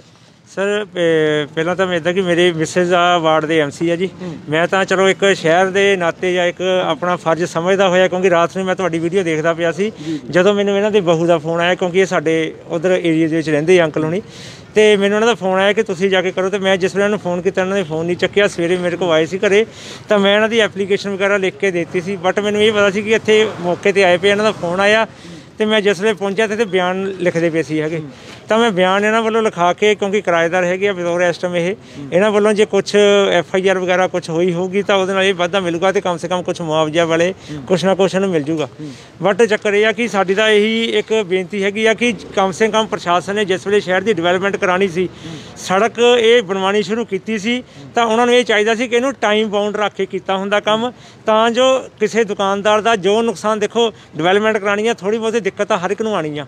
ਬਟ ਕਮ ਸੇ ਕਮ ਦਿੱਕਤ ਦਾ ਕੁਝ ਟਾਈਮ ਤਾਂ ਹੋਵੇ। ਮੈਂ ਇੱਕ ਚੀਜ਼ ਤੁਹਾਨੂੰ ਟੋਕਣਾ ਚਾਹੁੰਦਾ ਮੇਰੀ ਪਹਿਲਾਂ ਦੁਕਾਨਦਾਰਾਂ ਨਾਲ ਗੱਲ ਹੋਈ ਸੀ ਜਿੱਦਣ ਇਹ ਸੜਕ ਪੱਟੀ ਸੀ ਉਹ ਕਹਿੰਦੇ ਦੁੱਖ ਸਵਾਂਗੇ ਤਾਂ ਸੁੱਖ ਮਿਲੇਗਾ ਪਰ ਦੁੱਖਾਂ ਦਾ ਪਹਾੜ ਤਾਂ ਨਹੀਂ ਕਹਿਤਾ ਸੀ ਉਹਨਾਂ ਨੇ। ਮੇਰੇ ਹਿਸਾਬ ਨਾਲ ਮੈਂ ਜੈਨ ਸਾਹਿਬ ਨੂੰ ਹੁਣੀ ਪੁੱਛ ਕੇ ਹਟਿਆ ਮੈਂ ਕਿਹਾ ਜੈਨ ਸਾਹਿਬ ਜਿਸ ਵੇਲੇ ਆਹ ਚੀਜ਼ ਪ੍ਰੋਬਲਮ ਆਈ ਆ ਤੁਸੀਂ ਉਸ ਵੇਲੇ ਪ੍ਰਸ਼ਾਸਨ ਨਾਲ ਗੱਲ ਕੀਤੀ ਸੀ। ਕਹਿੰਦੇ ਅਸੀਂ ਐਮਐਲਏ ਸਾਹਿਬ ਨੂੰ ਮੌਕੇ ਤੇ ਪੁੱਛ ਲਿਆ ਸੀ ਕਿ ਐਮਐਲਏ ਸਾਹਿਬ ਤੁਸੀਂ ਸਾਨੂੰ ਕੋਈ ਦਿੱਕਤ ਨਹੀਂ ਕਿ ਜਿੰਨੇ ਚਿਰ ਮਰਜ਼ੀ ਪੱਟੋ ਜੋ ਮਰਜ਼ੀ ਕਰੋ। ਪਰ ਸਾਨੂੰ ਇਹ ਕਲੀਅਰ ਕਰ ਦਿਓ ਕਿ ਇਹ ਕਿਸ ਦਿਨ ਬਣ ਕੇ ਤਿਆਰ ਹੋ ਜੂਗੀ। ਇਹਨਾਂ ਨੇ ਹਾਂਜੀ ਹਾਂਜੀ ਇਹਨਾਂ ਨਾਲ ਹੋਇਆ ਨਹੀਂ। ਹੋਇਆ ਨਹੀਂ ਹੈਗਾ। ਬਟ ਉਹ ਕਹਿੰਦੇ ਕਿ ਉਸੇ ਵੇਲੇ ਠੇਕੇਦਾਰ ਨੂੰ ਸੱਦਿਆ। ਸੱਦ ਕੇ ਪੁੱਛਿਆ ਕਿ ਦੱਸੋ ਜੀ ਇਹਨਾਂ ਦਾ ਜਵਾਬ ਦਿਵੋ ਗੱਲ ਦਾ। ਤੇ ਉਹਨੇ ਦੱਸਿਆ ਸੀ ਕਿ ਅਸੀਂ ਇੰਨੇ ਦਿਨਾਂ ਦੇ ਵਿੱਚ ਵਿੱਚ ਬਣਾ ਕੇ ਤੁਹਾਨੂੰ ਕਲੀਅਰ ਕਰ ਦਵਾਂਗੇ। ਬਟ ਉਹ ਰਿਜ਼ਲਟ ਤੁਹਾਡੇ ਸਾਹਮਣੇ ਆ ਕਿ ਆ ਕੀ ਹੈ ਵੀ ਬਹੁਤ ਬੁਰਾ। ਬਹੁਤ ਬੁਰਾ ਜੀ ਹੈਗਾ ਜੀ ਇਹ ਸ਼ੁਕਰ। ਕਰੋ ਕਿ ਜੇ ਕਿਤੇ ਦਿਨੇ ਹਾਦਸਾ ਹੋ ਜਾਂਦਾ। ਕਿੰਨੇ ਹਾਦਸੇ ਹੁੰਦੇ? ਕਿੰਨੇ ਹਾਦਸੇ ਹੋ ਜਾਣੇ ਸੀ? ਫੇਰ ਆ ਜਾਣਾ ਸੀ ਨਵਾਂ ਸ਼ਹਿਰ ਦੇ ਵਿੱਚ ਟਰੱਕ ਦੇ ਨਾਲ ਇੰਨੇ ਬੰਦੇ ਕੁਚਲੇ ਗਏ ਕਸੂਰ ਟਰੱਕ ਵਾਲੇ ਦਾ? ਥੱਲੇ ਕਮੈਂਟ ਵੀ ਕੱਲ ਕੋਈ ਲੜਕੀ ਕਰ ਰਹੀ ਸੀ ਹੁਣ ਮੈਨੂੰ ਪਤਾ ਨਹੀਂ ਕਿੰਨਾ ਕੁ ਸੱਚ ਕਿੰਨਾ ਕੁ ਝੂਠ ਹੈ ਕਿਉਂਕਿ ਰਾਤੀ ਲਾਈਵ ਚਲਾਇਆ ਸੀ। ਉਹ ਕਹਿੰਦੀ ਮੈਂ ਵਾਕ ਕਰ ਰਹੀ ਸੀ ਸਿਰਫ 1 ਮਿੰਟ ਦਾ ਫ਼ਰਕ ਪਿਆ ਨਹੀਂ ਤਾਂ ਮੈਂ ਥੱਲੇ ਆ ਜਾਣਾ ਸੀ। ਹੋ ਸਕਦਾ ਹੈ ਇਹਦਾ ਪਤਾ ਨਹੀਂ ਸਰ। ਕੱਲ ਦੀ ਗੱਲ ਆ ਸ਼ਾਮੀ ਮੇਰਾ ਬੇਟਾ ਉਧਰੋਂ ਸਕੂਟਰ ਤੇ ਆ ਰਿਹਾ ਸੀਗਾ ਉਹ ਵੀ ਇੱਥੇ ਸਲਿੱਪ ਕਰਕੇ ਡੇਪੇ ਉਹਦੀ ਲੱਤ ਤੇ ਬਹੁਤ ਜ਼ਬਰਦਸਤ ਸੱਟ ਲੱਗੀ। ਇੰਨਾ ਹਾਂ ਇਸੀ ਜਗ੍ਹਾ ਤੇ। ਜੀ ਜੀ ਮਤਲਬ ਪ੍ਰਸ਼ਾਸਨ ਨੂੰ ਕੋਈ ਧਿਆਨ ਨਹੀਂ ਕਿ ਕਿਸੇ ਦਾ ਕੋਈ ਅਸੀਂ 2 ਘੰਟੇ ਪਹਿਲਾਂ ਦੁਕਾਨ ਬੰਦ ਕਰਕੇ ਗਏ ਹੋ ਸਕਦਾ ਅਸੀਂ ਵੀ ਇਹ ਸਹੂਲਤਾਂ ਨਾ ਦੇਖਦੇ। ਨਹੀਂ ਨਹੀਂ ਚਲੋ ਬਜ਼ੁਰਗੋ ਇਦਾਂ ਨਾ ਕਹੋ ਤੁਸੀਂ। ਨਹੀਂ ਪਤਾ ਨਹੀਂ ਹੁੰਦਾ ਨਾ ਦੇਖੋ ਹਾਲਾਤ ਇਦਾਂ ਦੇ ਆ ਕੁਝ ਨਹੀਂ ਪਤਾ ਹੁੰਦਾ ਕੀ ਹੋ ਸਕਦਾ। ਟੈਕਨੀਕਲੀ ਇਹਨਾਂ ਦੀ ਹੁਣ ਕਿਵੇਂ ਕਿਵੇਂ ਹੈਲਪ ਹੋ ਸਕਦੀ? ਕਿਉਂਕਿ ਜਿਵੇਂ ਦੱਸ ਰਹੇ ਨੇ ਦੋਨੇ ਕਿ ਇਹਨਾਂ ਦਾ ਰੋਜ਼ਗਾਰ ਤਾਂ ਖੋ ਹੋ ਗਿਆ 5-7 ਦਿਨ ਤਾਂ ਲੱਗਣਗੇ ਦੁਕਾਨ ਨੂੰ। ਹੈਂਡ ਟੂ ਮਾਊਥ ਹੀ ਨੇ ਸਾਰੇ ਜੋ ਕਮਾਣਾ ਉਹੀ ਖਾਣਾ। ਫਿਰ ਇਹਨਾਂ ਦੀ ਮਦਦ ਦੁਕਾਨ ਬਣਾਉਣ ਦੀ ਇਜਾਜ਼ਤ ਮਿਲ ਜਵੇ ਦੁਕਾਨ ਬਣਾਓ ਸਾਰਾ ਕੰਮ ਹੋਵੇ ਦੁਕਾਨ ਬਣਾ ਕੇ ਦੇਵੇ ਠੇਕੇਦਾਰ ਐਜ਼ ਇਟ ਇਜ਼ ਜਿੱਦਾਂ ਪਹਿਲਾਂ ਸੀਗੀ। ਹਾਂ, ਆਪਾਂ 5-7 ਦਿਨ ਪਹਿਲਾਂ ਤਾਂ ਇਹ ਆ ਕਹਿ ਰਹੇ ਆਪਣੀ 2-4 ਸੋਚ ਦਿਨ ਤਾਂ ਚਲੋ ਅਸੀਂ ਝੱਲ ਲਵਾਂਗੇ ਫਿਰ ਸਾਡੇ ਪਤਾ ਨਹੀਂ ਦੁਕਾਨ ਨੂੰ ਮਹੀਨਾ ਲਾਉਂਦੇ ਆ। ਕਿੰਨੀ ਦੇਰ ਲੱਗਣੀ ਆ? ਸਾਡਾ ਇਹ ਹੈ ਕਿ ਪ੍ਰਸ਼ਾਸਨ ਨੂੰ ਕਿ ਪਹਿਲ ਦੇ ਆਧਾਰ ਤੇ ਜਿਹੜਾ ਹੈਗਾ ਆ ਕਿ ਇੱਕ ਠੇਕੇਦਾਰ ਨੂੰ ਵੀ ਕਿਹਾ ਜਾਵੇ ਕਿ ਇਹਨੂੰ ਕੰਮ ਨੂੰ ਛੇਤੀ ਨਿਬੇੜੇ। ਤੇ ਦੂਸਰਾ ਇਹ ਆ ਕਿ ਉਹਨੂੰ ਵੀ ਇੰਨਾ ਕੁ ਇਹ ਦੰਡ ਜ਼ਰੂਰ ਮਿਲਣਾ ਚਾਹੀਦਾ ਆ ਜਿਹਦੇ ਲੇਟ ਲਤੀਫੀ ਕਰਕੇ ਤਾਂ ਉਹਦੀਆਂ ਬੇਵਕੂਫੀਆਂ ਕਰਕੇ ਕਿਉਂਕਿ ਇਹ ਹਰ ਇੱਕ ਚੀਜ਼ ਦਾ ਨਾ ਕੋਈ ਇੱਕ ਸ- ਉਹਦੀ ਪਾਵਰ ਹੁੰਦੀ ਆ ਕਿ ਕਿੰਨਾ ਕੁ ਕਿੰਨਾ ਕੁ ਬੋਝ ਸਹਿ ਸਕਦੀ ਆ। ਬਟ ਉਹਨੇ ਇਦਾਂ ਹੀ ਬਜਰੀ ਪਾ ਕੇ ਮਿੱਟੀ ਪਾ ਕੇ ਪਾਈਪਾਂ ਕਵਰ ਕਰ ਲਈਆਂ ਜਿਹਦੇ ਕਰਕੇ ਸੀਵਰੇਜ ਵਹਿ ਗਿਆ ਤੇ ਟਰੱਕ ਉਲਟ ਗਿਆ ਇਹ ਹਾਦਸਾ ਹੋਇਆ। ਤੇ ਅਸੀਂ ਇਹ ਕਹਿੰਦੇ ਕਿ ਠੇਕੇਦਾਰ ਨੂੰ ਹਦਾਇਤ ਕੀਤੀ ਜਾਵੇ ਨਾਲ ਦੀ ਨਾਲ ਤੇ ਪ੍ਰਸ਼ਾਸਨ ਕੋਲ ਖੜ ਕੇ ਇਹਨਾਂ ਦੀ ਦੁਕਾਨ ਨੂੰ ਦਵਾ ਦਾ ਛੇਤੀ ਬਣਾਇਆ ਜਾਵੇ। ਇਹਨਾਂ ਦੇ ਨਾਲ ਜਿਨ੍ਹਾਂ ਦਾ ਹੋਰ ਦਾ ਨੁਕਸਾਨ ਹੋਇਆ ਉਹਨਾਂ ਦੀ ਭਰਪਾਈ ਕੀਤੀ ਜਾਵੇ ਤਾਂ ਜੋ ਕਮ ਸੇ ਕਮ ਇਹ ਕਿਸੇ ਹੋਰ ਦੇ ਡਿਪੈਂਡ ਹੋਣ ਦੇ ਨਾਤੇ ਆਪਣੇ ਰੋਜ਼ਗਾਰ ਨੂੰ ਚਲਾ ਕੇ ਕੰਮ ਕਰ ਜਿਹੜੀ ਸਕਣ ਦੁਕਾਨ ਆ ਪਿਆਰੇ ਲਾਲ ਜੀ ਉਹ ਫਾਦਰ ਤੇ ਪਿ- ਪਿਤਾ ਤੇ ਪੁੱਤਰ ਦੋਨੇ ਨੇ ਉਹਨਾਂ ਦੇ ਆਪਣੇ ਕਰਿੰਦੇ ਨੇ ਤਿੰਨ ਚਾਰ ਉਹ ਤਾਂ ਆਪਣੀ ਦੁਕਾਨ ਸਾਂਭ ਰਹੇ ਨੇ ਇਹ ਬਜ਼ੁਰਗ ਇਕੱਲੇ ਕੀ ਕਰਨਗੇ ਕੀ ਕਰਨਗੇ ਉਹੀ ਥੋੜੀ ਪਿੱਛੇ ਹਟਵੀਂ ਸੀ ਇਹ ਸੜਕ ਦੇ ਉੱਪਰ ਨੁਕਸਾਨ ਉਹਨਾਂ ਦਾ ਵੀ ਹੋਇਆ ਨੁਕਸਾਨ ਉਹਨਾਂ ਦਾ ਵੀ ਹੋਇਆ ਲੇਕਿਨ ਬਚਾਅ ਹੋ ਗਿਆ ਉਹ ਜਿਹੜਾ ਜਿਹੜੀ ਜਿਹੜੀ ਮਕਾ- ਮਕਾਨ ਚ ਉੱਤੇ ਭੈਣ ਜੀ ਰਹਿੰਦੇ ਨੇ ਉਹਨਾਂ ਦੀ ਹਾਲਤ ਦੇਖੋ ਮਨ ਕਿਵੇਂ ਉਹਨਾਂ ਦਾ ਭਰਿਆ ਹੋਇਆ ਉਹ ਕਹਿੰਦੇ ਮੈਂ ਚਾਰ ਵਾਰੀ ਆਪਣੇ ਖਰਚੇ ਤੇ ਸੀਵਰੇਜ ਪਵਾਇਆ ਤੇ ਹੁਣ ਮੇਰੇ ਕੋਲ ਪਵਾਉਣ ਦੀ ਸ਼ਮਤਾ ਨਹੀਂ ਆ चार बार हुआ से कम है मेरे को कोई रहे कोई जगह में ਬਾਪੂ ਜੀ ਜਰਾ ਇੱਧਰ ਦੇਖੋ किराए पे मैं बैठा किराए से बैठा मैं और चार बारी मैं खर्च कर चुका मैं कल ठेकेदार ਨੂੰ ਕਿਹਾ ਮੈਂ ਕਿਹਾ ਦੇਖੋ ਜੀ ਮੈਂ ਚਾਰ ਵਾਰੀ ਖਰਚ ਕੇ ਬੈਠਾ ਹੁਣ ਮੇਰੇ ਕੋਲ ਕੋਈ ਹਿੰਮਤ ਨਹੀਂ ਹੈ ਤੁਹਾਨੂੰ ਬਣਾਉਣੀ ਪੈਗੀ ਕੱਲ ਨੂੰ ਨਿੱਕੀ ਹੋ ਗਿਆ ਕਹਿੰਦਾ नहीं जी मैं ठीक करवा देना मक्की का क्या करवाएगा वही पत्थर पाया ऊपर लग पाए थे क्या ਚਲੋ ਬਾਪੂ ਜੀ ਆ- ਇਹਨਾਂ ਦੇ ਇਹਨਾਂ ਦੀ ਸ਼ਲਾਘਾ ਕਰਦੇ ਕਿ ਤੁਹਾਡੇ ਨਾਲ ਖੜੇ ਨੇ ਡਟੇ ਨੇ ਹੋਰ ਪਰ ਇੱਕ ਚੀਜ਼ ਮੈਂ ਜ਼ਰੂਰ ਕਹਿਣੀ ਚਾਹੁੰਦਾ ਬਿਨਾਂ ਮਾਸਕ ਤੋਂ ਝੱਟ ਚਲਾਨ ਕਰ ਦਿੰਦੇ ਹੋ। ਬਿਨਾਂ ਮਾਸਕ ਤੋਂ ਕਰੋਨਾ ਟੈਸਟ ਕਰਦੇ ਕੋਈ ਇਹਨਾਂ ਨੂੰ ਆ ਕੇ ਕਿਸੇ ਨੇ ਪੁੱਛਿਆ ਕਿ ਬਿਜਲੀ ਚਲੇ ਗਈ ਸੀ ਤੁਸੀਂ ਕਿਵੇਂ ਰਾਤ ਦੇ ਠੀਕ ਹੋ? ਇਹਨਾਂ ਦੀ ਬੇਟੀ ਦੱਸ ਰਹੀ ਸੀ ਕਿ ਅੰਦਰ ਡੱਕੇ ਹੋਏ ਸੀ। ਕਿਸੇ ਨੇ ਪੁੱਛਿਆ ਕਿ ਚਾਹ ਪਾਣੀ ਪਹੁੰਚਿਆ ਤੁਹਾਡੇ ਤੱਕ ਕਿ ਨਹੀਂ ਪਹੁੰਚਿਆ? ਕੋਈ ਰਾਸ਼ਨ ਪਹੁੰਚਿਆ ਕਿ ਨਹੀਂ ਪਹੁੰਚਿਆ? ਜੀ। ਹਾਂ ਪੜੋਸ ਚੋਂ ਟੱਪਦੇ ਸੀ ਇੱਧਰ ਨੂੰ ਆਏ। ਪੜੋਸ ਚੋਂ ਟੱਪ ਕੇ ਕਹਿੰਦੇ ਬਾਹਰ ਆਇਆ ਕਿ ਬਾਹਰ ਠੀਕ ਹੈ ਕਿ ਨਹੀਂ? ਕਿਉਂਕਿ ਦਰਵਾਜ਼ਾ ਖੁੱਲਦਾ ਹੀ ਨਹੀਂ। ਦਰਵਾਜ਼ਾ ਹੁਣ ਖੁੱਲਿਆ ਤੁਹਾਡੇ ਹੁਣ ਖੁੱਲਿਆ ਆ ਗਏ ਰਾਤ ਬੱਚੇ ਵੀ ਅੰਦਰ ਡੱਕੇ ਸੀ ਬਿਜਲੀ ਦਾ ਕਰੰਟ ਵੀ ਉੱਤੇ ਆ ਗਿਆ ਸੀ। ਤਾਂ ਰਿਸਪੌਂਸੀਬਲ ਕੌਣ ਹੈ? ਔਰ ਫਿਰ ਉਸ ਤੋਂ ਬਾਅਦ ਕੋਈ ਸਹਾਨੁਭੂਤੀ ਕੋਈ ਨਹੀਂ ਆਉਂਦਾ। ਕੋਈ ਕੋਈ ਨਹੀਂ ਕੋਈ ਵੀ ਨਹੀਂ ਆਇਆ। ਤੋਂ ਬਾਅਦ ਕਿਸੇ ਨੇ ਪੁੱਛਿਆ ਵੀ ਨਹੀਂ। ਕੋਈ ਵੀ ਨਹੀਂ ਨਾ ਪ੍ਰਸ਼ਾਸਨ ਨੇ ਨਾ ਐਮਸੀ ਨੇ ਕਿਸੇ ਨੇ ਮੈਨੂੰ ਆ ਕੇ ਪੁੱਛਿਆ। ਨਾ ਇੱਥੇ ਤੱਕ ਕਿ ਵਪਾਰ ਮੰਡਲ ਵਾਲੇ ਵੀ ਨਹੀਂ ਆਏ। ਅਸੀਂ ਮੰਡੀ ਦੇ ਵਿੱਚ ਹੀ ਆ। ਕੰਧ ਇੱਕੋ ਹੀ ਹੈ। ਟੱਪ ਜਾਵੇ ਤੇ ਉੱਧਰ ਜੇ ਟੱਪ ਜਾਵੇ ਤੇ ਪਰ ਹੁਣ ਤੁਸੀਂ ਟੱਪ ਕੇ ਦੂਜੇ ਘਰੋਂ ਆਏ ਟੱਪ ਕੇ ਦੂਜੇ ਘਰੋਂ ਆਇਆ ਬੰਦਾ ਪਰੇਸ਼ਾਨ ਹੁੰਦਾ ਸੋਚ ਰਿਹਾ ਕਿ ਘੱਟੋ ਘੱਟ ਬਾਹਰ ਜਾ ਕੇ ਦੇਖਾ ਸੀ ਹੋ ਕੀ ਗਿਆ। ਬਸ। ਜੀ। ਜੀ ਇੱਕ ਮਿੰਟ ਮੈਨੂੰ ਇੱਕ ਚੀਜ਼ ਹੋਰ ਦੱਸਿਓ ਕਿ देखो कितना टेढ़ा जी हाँ हाँ ऊपर जाके देखो ऊपर सीमेंट इट्टा डिगी है ਤੁਸੀਂ ਇੱਧਰ ਕਰ ਜੀ ਜੀ ਸਰ ਵਿਜੇ ਇੱਧਰ ਜਰਾ ਕਰੋ ਆ ਜਿਹੜੀ ਸੜਕ ਬਣਾ ਰਹੇ ਆ ਇਹਦੀ ਕੁਆਲਿਟੀ ਇੰਨੀ ਪੂਅਰ ਆ ਆ ਮਿੱਟੀ ਦੇ ਉੱਤੇ ਦੇਖ ਲਓ ਪਾਈ ਹੋਈ ਆ ਬਜਰੀ ਤੁਸੀਂ ਆ ਦੇਖ ਲਓ ਆ ਦੇਖ ਲਓ ਆਪੇ ਇਹ ਕੀ ਕੀ ਇਹ ਰਹੂਗੀ ਇਹ ਇਹ ਲੋਕਾਂ ਦਾ ਪੈਸਾ ਖਰਾਬ ਕਰ ਰਹੇ ਆ ਨਾ ਕਿ ਇਹ ਲੋਕਾਂ ਨੂੰ ਲੋਕਾਂ ਦਾ ਪੈਸਾ ਖਰਾਬ ਕਰ ਰਹੇ ਆ ਇਹ। ਇਹ ਲੋਕਾਂ ਇਹਨਾਂ ਦਾ ਨਹੀਂ ਪੈਸਾ ਇਹ ਲੋਕਾਂ ਦਾ ਆ। ਇਹ ਕੀ ਕੀ ਬਣਾ ਰਹੇ ਆ ਇਹ? ਨਹੀਂ ਫੜਦੀ ਹੈ ਜੀ ਸਾਡੇ ਸਾਡੇ ਜਿਹੜੇ ਟੈਕਸ ਦਿੰਦੇ ਆ ਡਾਇਰੈਕਟ ਇਨਡਾਇਰੈਕਟ ਹਾਂ ਹਾਂਜੀ ਹਾਂਜੀ। ਆ। ਦੇਖ ਲਓ ਕੀ ਬਾਤ ਤੁਹਾਡੇ ਸਾਹਮਣੇ ਆ। ਹੁਣ ਅਸੀਂ ਤਾਂ ਕੁਝ ਕਹਿ ਅਸੀਂ ਉਹਨੂੰ ਕਿਹਾ ਠੇਕੇਦਾਰ ਦੇ ਨੁਮਾਇੰਦੇ ਨੂੰ ਇੱਕ ਉਹ ਸਰਦਾਰ ਜੀ ਹੈਗੇ ਆ ਉਹਨੂੰ ਕਿਹਾ ਮੈਂ ਕਿਹਾ ਮਿੱਟੀ ਆ ਤੇ ਇੱਥੇ ਤੂੰ ਆਹ ਦਾ ਪਾਈ ਜਾਂਦੇ ਆ ਤੁਸੀਂ ਲੁੱਕ ਤਾਂ ਪਾ ਦਿਓ। ਉਹ ਕਹਿੰਦਾ ਤੁਹਾਨੂੰ ਕੀ ਪਤਾ ਸੜਕ ਕਿੱਦਾਂ ਬਣਦੀ ਹੁੰਦੀ ਆ? ਮਿੱਟੀ ਜਿੰਨੀ ਥੱਲੇ ਪਾਉਂਦੇ ਉਹ ਤਾਂ ਘੱਟ ਪਾਉਂਦੇ ਸਾਡੇ ਸਿਰ ਤੇ ਜ਼ਿਆਦਾ ਪਾ ਰਹੇ ਉਹ ਉਹ ਤਾਂ ਪਾਏ ਰਹੇ ਆ ਚਲੋ ਉਹ ਤਾਂ ਜਿਹੜੀ ਇੱਕ ਇੱਕ ਦੋ ਚਾਰ ਦਿਨ ਪੈ ਜਾਊਗੀ। ਸਰ ਜੀ ਅੱਧਾ ਅੱਧਾ ਕਿਲੋ ਰੋਜ਼ ਦੀ ਅਸੀਂ ਮਿੱਟੀ ਖਾਂਦੇ ਆ। ਔਰ ਉੱਤੋਂ ਕਰੋਨਾ ਚੱਲ ਰਿਹਾ ਫਿਰ ਜੇ ਤੁਸੀਂ ਡਸਟ ਐਲਰਜੀ ਕਰਕੇ ਡਾਕਟਰ ਕੋ ਜਾਓਗੇ ਉਹਨੇ ਤੁਹਾਨੂੰ ਸੀਟੀ ਸਕੈਨ ਲਿਖ ਦੇਣੀ ਆ। ਉਹ ਵੀ ਨੁਕਸਾਨ ਤੁਹਾਡਾ। ਚਲੋ ਇਹ ਨਹੀਂ ਨਾਲੇ ਜੀ। 8-10 ਦਿਨ ਮਿੱਟੀ ਪੈ ਵੀ ਜਾਊ ਕੋਈ ਗੱਲ ਨਹੀਂ। ਪਰ ਆ ਆ ਤਾਂ ਕਰੋ ਸਹੀ ਤਾਂ ਕਰੋ ਫੇਰ 10 ਦਿਨਾਂ ਬਾਅਦ ਫੇਰ ਟੁੱਟ ਜਾਓ ਫੇਰ ਕੀ ਫਾਇਦਾ ਇਹਦਾ? ਬਖਸ਼ੀ ਜੀ ਕੀ ਸਮਝਾਈਓ ਮੈਨੂੰ? ਜ਼ਰੂਰ ਪਿੱਛੇ ਵੀ ਗੱਲਾਂ ਨਿਕਲ ਕੇ ਸਾਹਮਣੇ ਆ ਰਹੀਆਂ ਕਿ ਸ਼ਾਇਦ ਟਿੱਪਰ ਓਵਰਲੋਡ ਸੀਗਾ। ਓਵਰ ਸਪੀਡ ਸੀ ਇਹ ਤਾਂ ਨਹੀਂ ਕਾਰਨ ਬਣੇ ਪਰ ਜ਼ਮੀਨ ਤਸੀ ਹੋਈ ਹੈ। ਸਰ ਪਹਿਲੇ ਨੰਬਰ ਤੇ ਜਿਹੜਾ ਮੇਨ ਰੀਜ਼ਨ ਹੈਗਾ ਆ ਕਿ ਜਿਹੜਾ ਪ੍ਰਸ਼ਾਸਨ ਨੇ ਇਹ ਸੜਕ ਨੂੰ ਬਣਾਉਣਾ ਸ਼ੁਰੂ ਕੀਤਾ ਤੇ ਪੰਡੋਰੇ ਮਹੱਲੇ ਦੇ ਮੋਹਰੇ ਉਹਦੀ ਡਿਵਰਜਨ ਰੱਖੀ ਸੀ। ਨਾ ਤਾਂ ਸਰ ਕਿਤੇ ਡਿਵਰਜਨ ਦਾ ਬੋਰਡ ਲੱਗਾ ਆ। ਕੋਈ ਡਿਪਲੋਇਮੈਂਟ ਵੀ ਨਹੀਂ ਪੁਲਿਸ ਨਹੀਂ ਜੀ ਨਹੀਂ ਮੈਂ ਉਹੀ ਦੱਸਣ ਲੱਗਾ ਸਰ। ਨਾ ਤਾਂ ਡਿਵਰਜਨ ਦਾ ਕੋਈ ਬੋਰਡ ਲੱਗਾ। ਹੋ ਸਕਦਾ ਟਰੱਕ ਵਾਲਾ ਸ਼ਹਿਰ ਤੋਂ ਬਾਹਰ ਦਾ ਨੰਬਰ ਕਿਉਂਕਿ ਇਹਦਾ ਸੰਗਰੂਰ ਦਾ ਨੰਬਰ। ਹੋ ਸਕਦਾ ਸ਼ਹਿਰ ਤੋਂ ਬਾਹਰ ਦਾ ਨਹੀਂ ਪਤਾ ਲੱਗਾ ਹੋਣਾ ਪਰ ਜੇ ਡਿਵਰਜਨ ਲੱਗਾ ਹੁੰਦਾ ਸ਼ਾਇਦ ਉਹ ਇੱਧਰ ਨਾ ਆਉਂਦਾ। ਪਹਿਲੀ ਲਾਪਰਵਾਹੀ ਉੱਥੇ। ਦੂਜੀ ਲਾਪਰਵਾਹੀ ਇਹ ਆ ਕਿ ਉੱਥੇ ਰਾਤ ਦੇ ਟਾਈਮ ਕਿਸੇ ਦੇ ਕਿਸੇ ਦੀ ਡਿਊਟੀ ਚਾਹੀਦੀ ਸੀ ਪ੍ਰਸ਼ਾਸਨ ਵੱਲੋਂ ਤਾਂ ਜੋ ਓਵਰਲੋਡ ਗੱਡੀਆਂ ਨਾ ਜਾਣ। ਨੰਬਰ 3 ਅੱਛਾ ਇਹ ਵਿੱਚ ਕੋਈ ਕਮੈਂਟ ਕਰ ਰਿਹਾ ਕਹਿੰਦੇ ਗੱਡੀਆਂ ਹੱਲੇ ਵੀ ਆ ਰਹੀਆਂ ਧੜਾ ਧੜ ਉਹ ਦੇਖੋ ਪਿੱਛੇ ਆ ਕੇ ਲੋਕੀ ਹਾਰਨ ਵਜਾ ਰਹੇ ਨੇ।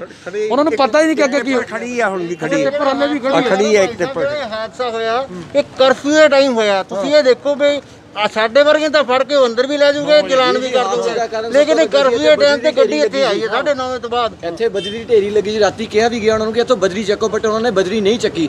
ਜਦੋਂ ਇੱਥੋਂ ਗੱਡੀ ਲੰਘੀ ਗੱਡੀ ਨੇ ਗੱਡੀ ਨੇ ਸਾਈਡ ਲੈ ਕੇ ਲੰਘਣਾ ਬਜਰੀ ਉੱਤੋਂ ਲੰਘਣੀ ਨਹੀਂ ਸੀ। ਤਾਂ ਟਰੱਕ ਵਾਲੇ ਨੇ ਆਪਣੀ ਸਾਈਡ ਦਿੱਤੀ ਹੈ ਸਿਰਫ ਸਾਈਡ ਤੇ ਖੜਾ ਕੀਤਾ ਟਰੱਕ ਐਨੇ ਟਰੱਕ ਤਸ ਗਿਆ ਪੂਰਾ। ਪਰ ਚਲੋ ਸੱਚ ਛੱਲੀ ਵਾਂਗ ਨੰਗਾ ਹੋ ਗਿਆ। ਅਸੀਂ ਰਾਤੀ ਸੁਪਰਵਾਈਜ਼ਰ ਨੂੰ ਕਿਹਾ ਵੀ ਜਿਹੜਾ ਨਾ ਸਰਦਾਰ ਜੀ ਸੁਪਰਵਾਈਜ਼ਰ ਕੀ ਭਾਜੀ ਇਹ ਤਾਂ ਬਜਰੀ ਚਕਾ ਦਿਓ ਉਹਨੇ ਨਹੀਂ ਮੰਨੀ ਸਾਡੀ ਗੱਲ। ਉਹ ਕਹਿੰਦਾ, ਤੁਹਾਨੂੰ ਪਤਾ ਕਿੱਦਾਂ ਸੜਕ ਬੰਦੀ ਸਾਨੂੰ ਪਤਾ। ਨਾ ਤੁਸੀਂ ਤਾਂ ਅਨਪੜ੍ਹ ਜੀ। ਸਾਹਿਬ, ਸਾਡੀ ਇੱਕ ਤੁਹਾਡੇ ਅੱਗੇ, ਤੁਹਾਡੇ ਚੈਨਲ ਦੇ ਮਾਧਿਅਮ ਨਾਲ ਇੱਕ ਹੋਰ ਬੇਨਤੀ ਹੈਗੀ ਆ ਕਿ ਜੋ ਸਾਨੂੰ ਸੜਕ ਦੇ ਹਾਲਾਤ ਇਸ ਟਾਈਮ ਦਿਖਦੇ ਪਏ ਆ ਤੁਸੀਂ ਵੀ ਤੁਸੀਂ ਸਾਡੀਆਂ ਆਵਾਜ਼ ਨੂੰ ਉੱਪਰ ਤੱਕ ਲੈ ਕੇ ਜਾਓ।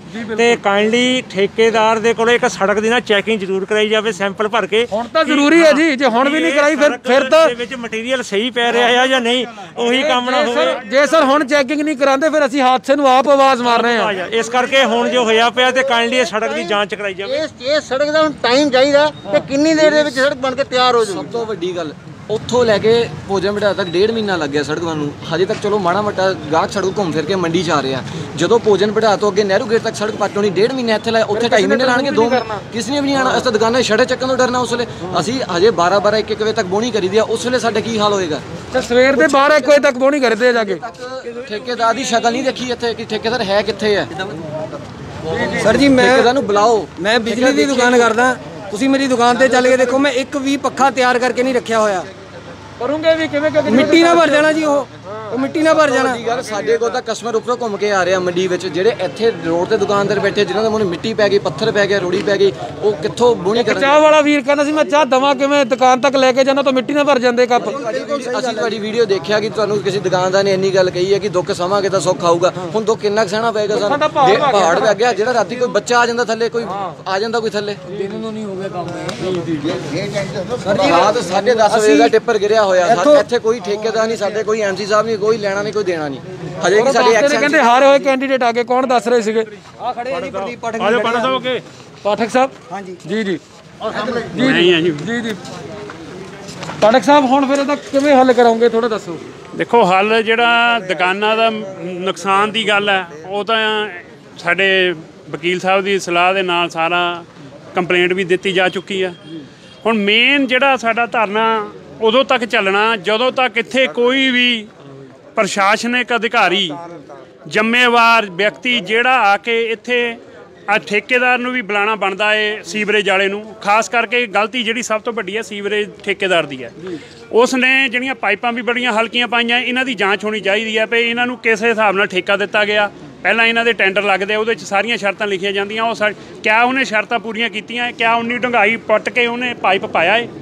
ਹੁਣ ਜਿਹੜੀ ਸੜਕ ਦੀ ਗੱਲ ਹੈ ਇਹ ਮੇਨ ਸੀਵਰੇਜ ਠੇਕੇਦਾਰ ਔਰ ਜਦ ਤੱਕ ਕੋਈ ਬੜਾ ਅਧਿਕਾਰੀ ਨਹੀਂ ਆਂਦਾ ਇੱਥੇ ਧਰਨਾ ਜਾਰੀ ਰਹੂਗਾ। ਡਟੇ ਰਹੋਗੇ ਇਹ ਤਾਂ ਨਹੀਂ ਹੈ ਕਿ ਵਿੱਚੇ ਛੱਡ ਜਾਓਗੇ। ਨਹੀਂ ਵਿੱਚ ਨਹੀਂ ਛੱਡਦੇ ਜੀ ਇਦਾਂ ਛੱਡਣ ਵਾਲੀ ਆਦਤ ਹੈ ਨਹੀਂ। ਦੇਖੋ ਬਜ਼ੁਰਗਾਂ ਨੂੰ ਤੁਹਾਡੀ ਲੋੜ ਹੈ ਇਹਨਾਂ ਨੂੰ ਵੀ ਤੁਹਾਡੀ ਲੋੜ ਹੈ ਜਿਹੜੇ ਉਹ ਬਜ਼ੁਰਗ ਨੇ ਉਹਨਾਂ ਨੂੰ ਵੀ ਲੋੜ ਹੈ। ਆਪਾਂ ਹਰੇਕ ਦੇ ਨਾਲ ਖੜੇ ਆ ਜੀ ਜਦ ਮਰਜ਼ੀ ਸਾਨੂੰ ਆਵਾਜ਼ ਮਾਰ ਲਓ ਪਰ ਅਸੀਂ ਮੈਂ ਤਾਂ ਆਵਾਜ਼ ਨਹੀਂ ਮਾਰਨੀ ਇੱਥੇ ਰਹਿਣਾ ਜੀ। ਤੁਹਾਨੂੰ ਦੱਸਦਾ ਜਦੋਂ ਵੀ ਮੈਂ ਮੈਂ ਤਾਂ ਕੁਦਰਤੀ ਮੈਨੂੰ ਨਹੀਂ ਪਤਾ ਸੀ ਮੈਂ ਇਧਰੋਂ ਆ ਰਿਹਾ ਸੀ ਤਾਂ ਮੋਰੇ ਧਰਨਾ ਸੀ ਮੈਂ ਉੱਥੇ ਰੁਕ ਗਿਆ।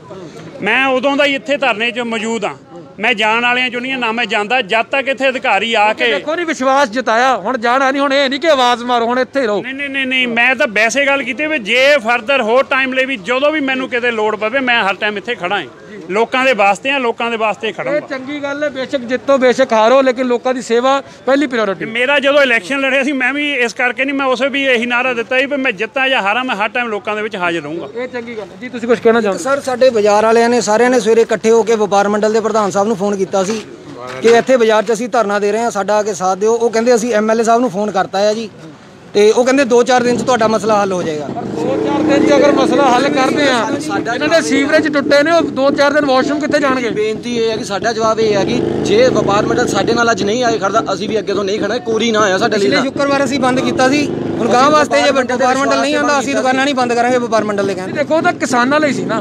ਕਿਸਾਨਾਂ ਦਾ ਸਮਰਥਨ ਕਰਦੇ ਹੋ? ਕਿਸਾਨਾਂ ਦੇ ਨਾਲ ਕਿਸਾਨਾਂ ਦੇ ਨਾਲ ਨਾਲ ਬਟ ਜੇ ਵਪਾਰ ਮੰਡਲ ਸਾਨੂੰ ਕਹੇਗਾ ਨਾ ਆਪਣੇ ਲੈਵਲ ਤੇ ਪਰ ਅਸੀਂ ਵਪਾਰ ਮੰਡਲ ਨਾਲ ਉਹਨਾਂ ਦੇ ਲੈਵਲ ਤੇ ਨਹੀਂ ਆ ਫਿਰ ਆਪਾਂ। ਆਪਣੇ ਵੱਲੋਂ ਕਰਾਂਗੇ ਤੁਸੀਂ। ਅਸੀਂ ਕਿਸਾਨਾਂ ਦੇ ਨਾਲ ਖੜੇ ਦੋਸਤਾਂ ਦੇ ਸਾਰਿਆਂ ਦਾ ਜਵਾਬ ਮੈਂ ਇੱਕ ਦੇ ਦਿੰਦਾ। ਵੀ ਜ- ਅਸੀਂ ਕਿਸੇ ਦੇ ਵਿਰੋਧ ਚ ਨਹੀਂ ਹੈ ਚਾਹੇ ਕਿਸਾਨਾਂ ਦੇ ਹੱਕ 'ਚ ਹੋਇਆ ਪਰ ਹੁਣ ਸਾਡੀ ਤੁਹਾਡੇ ਚੈਨਲ ਦੇ ਮਾਧਿਅਮ ਰਾਹੀਂ ਇੱਕ ਦੁਕਾਨਦਾਰਾਂ ਦੀ ਇੱਕ ਅਪੀਲ ਅੱਜ ਸੁਣ ਲਓ ਕਿ ਚਾਹੇ ਕਿਸਾਨਾਂ ਨੂੰ ਲੋੜ ਪਵੇ ਭਰਾਵਾਂ ਨੂੰ ਚਾਹੇ ਕਿਸੇ ਨੂੰ ਵੀ ਲੋੜ ਪਵੇ ਉਹ ਡਾਇਰੈਕਟ ਸਾਡੇ ਬੰਦਿਆਂ ਨਾਲ ਆਣ ਅਸੀਂ ਜਿਹੜਾ ਸੰਪੂਰਨ ਤੌਰ ਤੇ ਬਾਈਕਾਟ ਕਰਨ ਨੂੰ ਤਿਆਰ ਹੈ ਸਾਰੇ ਦੁਕਾਨਦਾਰ ਜਿਹੜਾ ਇਹ ਬਣਿਆ ਵਾ ਇਹ ਆਪਣਾ ਵਪਾਰ ਮੰਡਲ ਬਣਿਆ ਵਾ ਨਾ ਜੀ ਉਹਦਾ ਸਾਰੇ ਬਾਈਕਾਟ ਕਰਾਂਗੇ। ਜੇ ਕਿਸੇ ਨੂੰ ਲੋੜ ਹੈ ਕਿਸੇ ਵੀ ਭਰਾ ਨੂੰ ਬਾਜ਼ਾਰ ਬੰਦ ਕਰਨ ਦੀ ਲੋੜ ਹੈ ਤਾਂ ਉਹ ਸਾਡੇ ਕੋਲ ਡਾਇਰੈਕਟ ਆ ਜਾਵੇ। ਡਾਇਰੈਕਟ ਸਾਰੇ ਦੁਕਾਨਦਾਰਾਂ ਦੀ ਮਹੱਲੇ ਵਾਈਜ਼ ਜਾਂ ਰੋਡ ਵਾਈਜ਼ ਮੀਟਿੰਗ ਹੋ ਕੇ ਉਹਨਾਂ ਦਾ ਸਾਥ ਦਿੱਤਾ ਜਾਊਗਾ। ਆਪਾਂ ਵਪਾਰ ਮੰਡਲ ਦੇ ਕਹੇ ਤੋਂ ਅੱਜ ਤੋਂ ਬਾਅਦ ਬੰਦ ਦਾ ਐਲਾਨ ਨਹੀਂ ਕਰਨਾ। ਚਲੋ ਇਹ ਇਸ ਟਾਈਮ ਰੋਜ਼ ਆ ਰਹੇ ਨੇ ਜੀ ਸਾਰੇ। ਇਹ ਕੁਝ ਗੱਲ ਇੱਕ ਪਾਸੇ ਤੋਂ ਦੂਜੇ ਪਾਸੇ ਜਾ ਰਹੀ ਹੈ ਲੇਕਿਨ ਪਰ ਇਹਨਾਂ ਦਾ ਹੱਲ ਹੋਣਾ ਬਹੁਤ ਜ਼ਰੂਰੀ ਹੈ। ਇਹ ਥੋੜੀ ਪੋਲੀਟੀਕਲ ਗੱਲ ਵੀ ਹੋਣ ਲੱਗ ਪਈ ਹੈ। ਕੌਣ ਵੇਜੇ ਤੁਸੀਂ ਮੈਨੂੰ ਦੱਸ ਰਹੇ ਵਪਾਰ ਮੰਡਲ ਤੋਂ ਕੌਣ ਆਇਆ? ਜੀ ਮੈਨੂੰ ਨਜ਼ਰ ਨਹੀਂ ਆ ਰਹੇ ਜਿਹੜੇ ਤੁਸੀਂ ਕਹਿੰਦੇ ਆ ਜੀ ਜੀ ਮੈਨੂੰ ਇੱਕ ਵਾਰੀ ਦਿਖਾ ਦਿਓ ਕਿੱਥੇ ਬੈਠੇ ਨੇ। ਹਾਂ ਉਹ ਬੈਠੇ ਨੇ। ਇੱਕ ਸੈਕਿੰਡ ਵਪਾਰ ਮੰਡਲ ਤੋਂ ਕਹਿੰਦੇ ਨੇ ਆ ਗਏ ਨੇ ਜੀ। ਇਹਨਾਂ ਨਾਲ ਵੀ ਗੱਲ ਕਰ ਲੈਣੇ ਕਿ ਲੇਟ ਕਿਉਂ ਆਏ ਨੇ। ਬਾਈ ਜੀ ਇੱਕ ਮਿੰਟ ਦਿਓ। ਸਰ ਤੁਸੀਂ ਵਪਾਰ ਮੰਡਲ ਤੋਂ ਜੀ? ਆਪਣੇ ਇਹਨਾਂ ਦੀ ਫੈਕਟਰੀਆਂ ਅੰਦਰ ਚੱਲਦੀਆਂ ਵਪਾਰ ਮੰਡਲ ਤੋਂ ਨਾ ਸਰ ਇੱਕ ਮਿੰਟ ਦੇ ਦਿਓ ਸਰ ਇੱਕ ਮਿੰਟ ਦੇ ਦਿਓ ਇੱਕ ਮਿੰਟ ਦੇ ਦਿਓ। ਹਾਂਜੀ। ਸਰ ਇਹਨਾਂ ਦੇ ਮਨ ਦਾ ਖਦਸ਼ਾ ਹੈ ਕਿ ਰਾਤੀ 10:30 ਵਜੇ ਤੱਕ ਜਿਹੜਾ ਭਾਣਾ ਵਾਪਰ ਗਿਆ ਪ੍ਰਸ਼ਾਸਨ ਤਾਂ ਨਹੀਂ ਆਇਆ। ਚਲੋ ਪੁਲਿਸ ਪ੍ਰਸ਼ਾਸਨ ਜਿਹੜੇ ਇੱਕ ਇੱਕਾ ਦੁੱਕਾ ਪਹੁੰਚੇ ਸੀ ਉਹ ਪਹੁੰਚ ਚੁੱਕੇ ਸੀਗੇ ਲੇਕਿਨ ਸਾਡੇ ਵਪਾਰ ਮੰਡਲ ਵਾਲੇ ਵੀਰ ਵੀ ਨਹੀਂ ਪਹੁੰਚੇ। ਇਸ ਗੱਲ ਦਾ ਇਹਨਾਂ ਦੇ ਮਨ 'ਚ ਬੜੀ ਪੀੜ ਹੈ ਰੋਸ ਹੈ।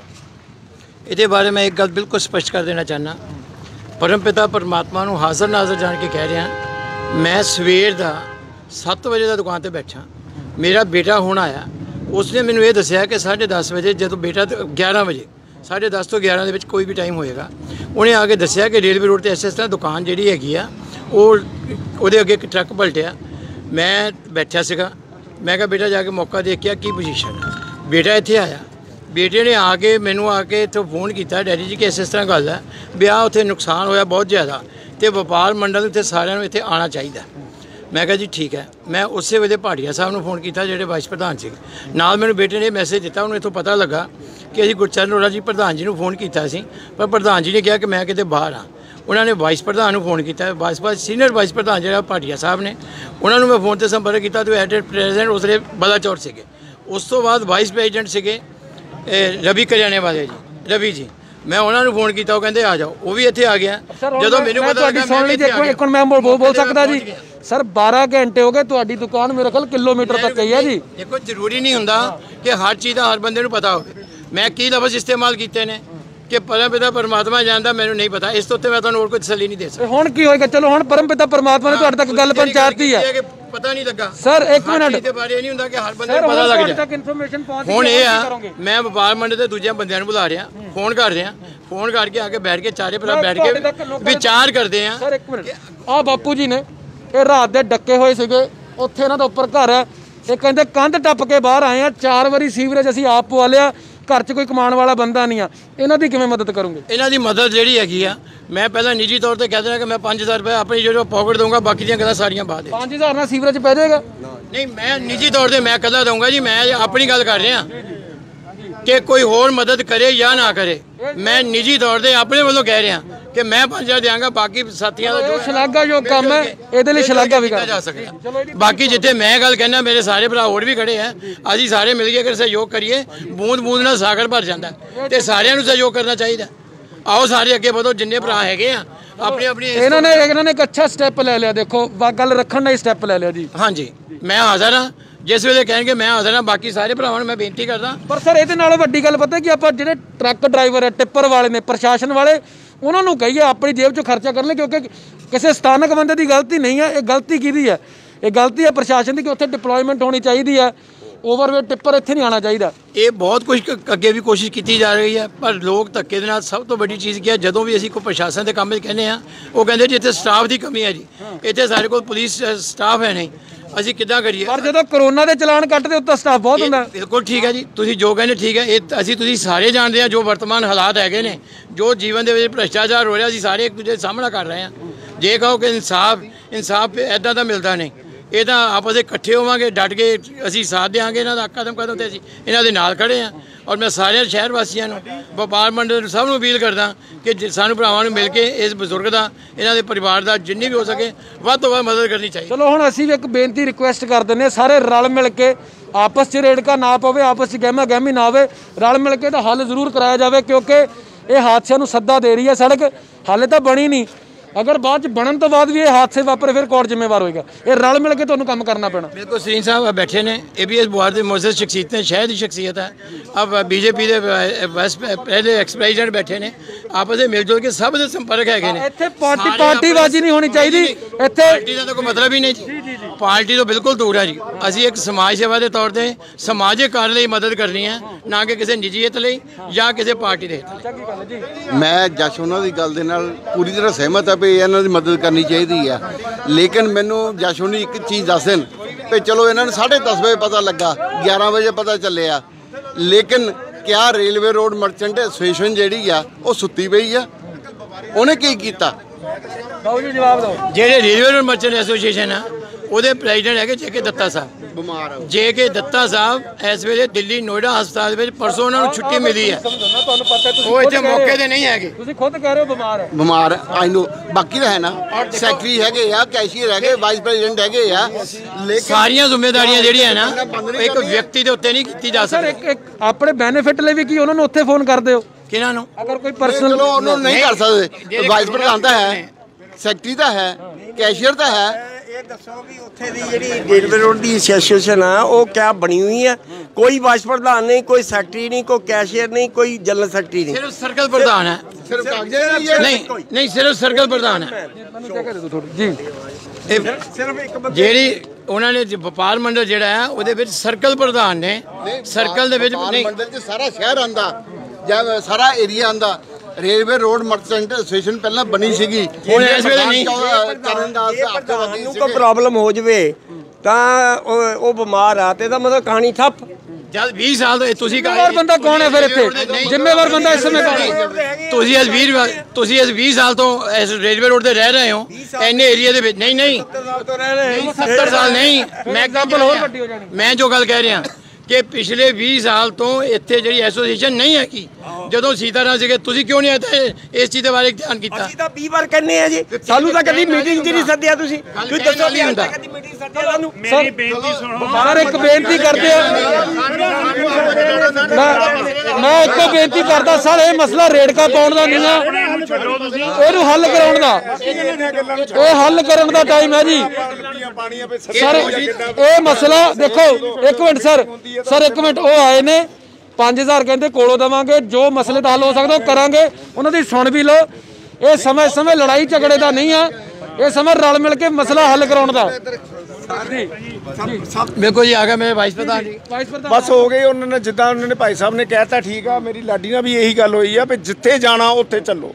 ਜਿਹਨੂੰ ਕਹਿਣਾ ਉਹਨੂੰ ਆ। ਅਸੀਂ ਵਪਾਰ ਮੰਡਲ ਨਾਲ ਆ। ਅਸੀਂ ਸਾਰੇ ਚੱਲੇ। ਦੇਰ ਆਏ ਨੇ ਦਰੁਸਤ ਆਏ ਨੇ ਜਾਂ ਤਾਂ ਇਸ ਬਾਜ਼ਾਰ ਨਾਲ ਜਾਂ ਕਿਸੇ ਦੇ ਨਾਲ ਅਸੀਂ ਅਲੱਗ ਚੱਲਦੇ ਫੇਰ ਸਾਨੂੰ ਕਹੋ ਵੀ ਅਸੀਂ ਕਿਸੇ ਦੇ ਦੇਰ ਆਏ ਨੇ ਦੇਰ ਆਏ ਨੇ ਦਰੁਸਤ ਆਏ ਨੇ ਕਹਿੰਦੇ ਹੁਣ ਚੱਲੀਏ ਕਿੱਥੇ ਜਾਣਾ? ਜਿੱਥੇ ਜਾਣਾ ਉੱਥੇ ਕਰੋ ਬੰਦ ਕਰੋ ਬਸ। ਅਸੀਂ ਨਾਲ ਆ ਪੂਰੇ ਤਰ੍ਹਾਂ ਨਾਲ। ਕੰਮ ਕਰੋ ਵਪਾਰ ਮੰਡਲ ਦਾ ਜਿਹੜਾ ਗਰੁੱਪ ਬਣਿਆ ਉਹ ਚ ਪਾਓ। ਕਿ ਅੱਜ ਦਾਦਾ ਕਰਕੇ ਰੇਲਵੇ ਰੋਡ ਕਹਿੰਦਾ ਉਹ ਤਾਂ ਹੋ ਜਾਂਦਾ। ਸਾਰੇ ਇਕੱਠੇ ਹੋ ਦੇਖੋ ਦੇਖੋ ਇਹ- ਇਹਨਾਂ ਦਾ ਪੁਆਇੰਟ ਵੀ ਜੈਨੂਨ ਆ ਇਹਨਾਂ ਦਾ ਪੁਆਇੰਟ ਜੈਨੂਨ ਆ। ਲੱਗੇਗਾ ਕਿ ਵਪਾਰ ਮੰਡਲ ਸਾਰਾ ਨਾਲ ਆ ਵਪਾਰ ਮੰਡਲ ਇਹਨਾਂ ਦਾ ਪੁਆਇੰਟ ਵੀ ਜੈਨੂਨ ਆ ਕਿ ਸਾਰੇ ਪਾਸੇ ਮੈਸੇਜ ਲਗਾਓ ਤੇ ਜਾਓ। ਇੱਥੇ ਨਾਲੋਂ ਮੇਰੇ ਖਿਆਲ ਚ ਉੱਥੇ ਆਪਣੇ ਚੌਂਕ 'ਚ ਜ਼ਿਆਦਾ ਬੈਟਰ ਆ ਆਪਣੇ ਅ, ਉਸ ਚੌਂਕ ਦੇ ਵਿੱਚ। ਸਰ ਇਹ- ਇਸ ਵੇ- ਰਾਤ ਦਾ ਵਾਕਿਆ ਹੋਇਆ। ਨਾ ਤਾਂ ਪ੍ਰਸ਼ਾਸਨ ਦੇ ਵਿੱਚੋਂ ਸਾਡੇ ਐਮਐਲਏ ਸਾਹਿਬ ਆ ਉਹਨਾਂ ਨੂੰ ਐਡੀ ਵੱਡੀ ਗੱਲ ਹੋ ਗਈ ਉਹਨਾਂ ਨੂੰ ਇੱਥੇ ਆਉਣਾ ਚਾਹੀਦਾ ਸੀ। ਫਿਰ ਠੇਕੇਦਾਰ ਨੂੰ ਇੱਥੇ ਆਉਣਾ ਚਾਹੀਦਾ ਸੀਗਾ। ਇਹ ਤਾਂ ਗੱਲ ਜਾਇਜ਼ ਹਾਂ। ਹੈ ਔਰ ਔਰ ਇਹ ਇਹ ਸਾਰੀ ਜਿਹੜੀ ਗਲਤੀ ਆ ਇਹ ਆਪਣਾ ਸੜਕ ਦੇ ਵਿੱਚ ਜਿਹੜਾ ਟੋਇਆ ਪਿਆ ਹੈ, ਉਹ ਜਿਹੜੀ ਟੋਇਆ ਪਿਆ- ਜਿਹੜਾ ਟੋਇਆ ਪਿਆ ਇਹਦੇ ਵਿੱਚ ਆਪਣਾ ਥੱਲੇ ਧਸ ਗਈ ਆ ਸੜਕ ਉਹਦੇ ਕਰਕੇ ਸਾਰਾ ਹਾਦਸਾ ਹੋਇਆ। ਔਰ ਇੱਕ ਕ- ਕਸੂਰ ਹੈਗਾ ਐਡਮਿਨਿਸਟ੍ਰੇਸ਼ਨ ਦਾ ਵੀ ਉਹਨਾਂ ਨੇ ਕੋਈ ਨਾ ਕੋਈ ਬੰਦਾ ਡਿਪੂਟ ਉੱਥੇ ਕਰਨਾ ਚਾਹੀਦਾ ਸੀ ਜਿਹੜਾ ਕਿ ਆਪਣਾ ਹਾਈ ਟ੍ਰੈਫਿਕ ਨੂੰ ਜਿਹੜਾ ਆ ਉਹ ਦੇਖੋ ਜਦੋਂ ਉੱਥੇ ਪੰਡੋਰੇ ਮਹੱਲੇ ਤੋਂ ਸਾਹਮਣੇ ਇੱਧਰ ਆਉਂਦੇ ਜਗ੍ਹਾ ਬੜੀ ਕੰਜਸਟਡ ਹੈ। ਕਈ ਵੇਲੇ ਦੋ ਦੋ ਗੱਡੀਆਂ ਲੰਘਦੇ ਤੇ ਇੱਕ ਅੱਡੀ ਗੱਡੀ ਦਾ ਟਾਇਰ ਚੱਕ ਹੋ ਜਾਂਦਾ। ਉੱਥੇ ਵੀ ਗੱਡੀ ਪਲਟ ਸਕਦੀ ਹੈ। ਹਾਂ ਇਸ ਕਰਕੇ ਹੁਣ ਵਪਾਰ ਮੰਡਲ ਨੂੰ ਚਾਹੀਦਾ ਹੈ ਵੀ ਸਾਰੇ ਸ਼ਹਿਰ ਦੇ ਵਿੱਚ ਸਾਰਾ ਸ਼ਹਿਰ ਬੰਦ ਕਰਾਣੇ ਚਲੋ ਚਲੋ ਸਰ ਤੁਹਾਡੀ ਗੱਲ ਮੰਨੀ ਲੇਕਿਨ ਜੋ ਹੁਣੇ ਕਹਿ ਰਹੇ ਨੇ ਆਪਾਂ ਮੇਨ ਕੰਮ ਉਹ ਕਰੀਏ ਕਿ ਹੁਣ ਚੱਲ ਕੇ ਉਹਨਾਂ ਦੀ ਮਦਦ ਕਰੀਏ। ਆਪਣੇ ਮਸਲੇ ਬਾਅਦ 'ਚ ਹੱਲ ਕਰ ਲਓ। ਬਿਲਕੁਲ ਹੁਣ ਅਗਰ ਆਪਣਾ ਰੇਟ ਕਾ ਲੈ ਕੇ ਬਹਿ ਜਾਗੇ ਉਹਨਾਂ ਦਾ ਮਸਲਾ ਹੱਲ ਨਹੀਂ ਹੋਣਾ ਲਟਕ ਜਾਣਾ। ਦੇਖੋ ਜੀ ਫਸਟ ਐਡ ਲਈ ਜਿਹੜੀ ਗੱਲ ਮੈਂ ਕਹੀ ਆ ਕਿ 5000 ਰੁਪਏ ਹੁਣੇ ਮੇਰੇ ਕੋਲੋਂ ਦੁਕਾਨ ਤੋਂ ਲੈ ਲਿਆ ਜਾਵੇ। ਜਿਹੜੀ ਜ਼ਿੰਦਗੀ ਦੀ ਬੁਨਿਆਦੀ ਜ਼ਰੂਰਤ ਆ ਉਹਦੇ ਵਾਸਤੇ ਜੋ ਖਾਣ ਪੀਣ ਦੀ ਵਿਵਸਥਾ ਰਾਸ਼ਨ ਦੀ ਆ ਉਹ ਜੋ ਆ ਲਓ ਉਹ ਇਸ ਤੋਂ ਅਲੱਗ ਆ।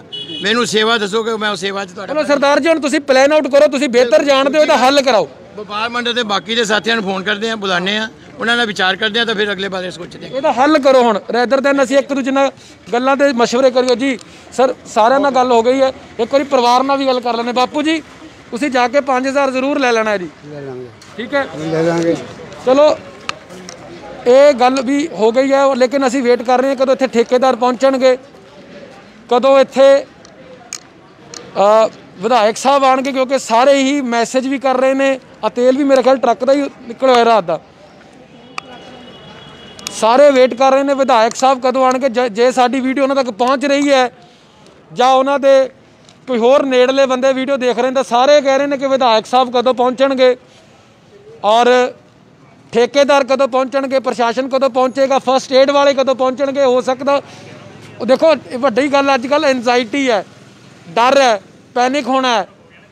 ਤਾਂ ਇਸ ਕਰਕੇ ਕੋਈ ਇੱਥੇ ਵੀ ਜ਼ਰੂਰ ਫਸਟ ਏਡ ਲਈ ਪਹੁੰਚਣੇ ਚਾਹੀਦੇ ਨੇ, ਉਹਨਾਂ ਨਾਲ ਗੱਲਬਾਤ ਕਰਨੀ ਚਾਹੀਦੀ ਤਾਂ ਕਿ ਉਹਨਾਂ ਨੂੰ ਕੋਈ ਮੈਡੀਸਨ ਤਾਂ ਦਿੱਤੀ ਜਾਵੇ। ਹਾਲੇ ਅਸੀਂ ਇੱਥੇ ਹੀ ਹਾਂ ਔਰ ਕੋਸ਼ਿਸ਼ ਕਰਾਂਗੇ ਪਰਸਨਲ ਰੇੜਕਾ ਨਾ ਬਣੇ, ਇਹ ਮਸਲੇ ਦੇ ਹੱਲ ਹੋਣ। ਤੁਸੀਂ ਬਣੇ ਰਹਿਣਾ ਵੀਵਤੀ ਨਵਾਂ ਸ਼ਹਿਰ ਨਾਲ, ਆਪਣੇ ਛੋਟੇ ਵੀਰ ਦਿਨੇਸ਼ੂਰੀ ਕੈਮਰਾ ਪਰਸਨ ਵਿਜੇ ਕੁਮਾਰ ਨੂੰ ਇਜਾਜ਼ਤ ਬਹੁਤ ਜਲਦੀ ਫਿਰ ਰਾਤ ਰਹੋ ਸਤਿ ਸ਼੍ਰੀ ਅਕਾਲ।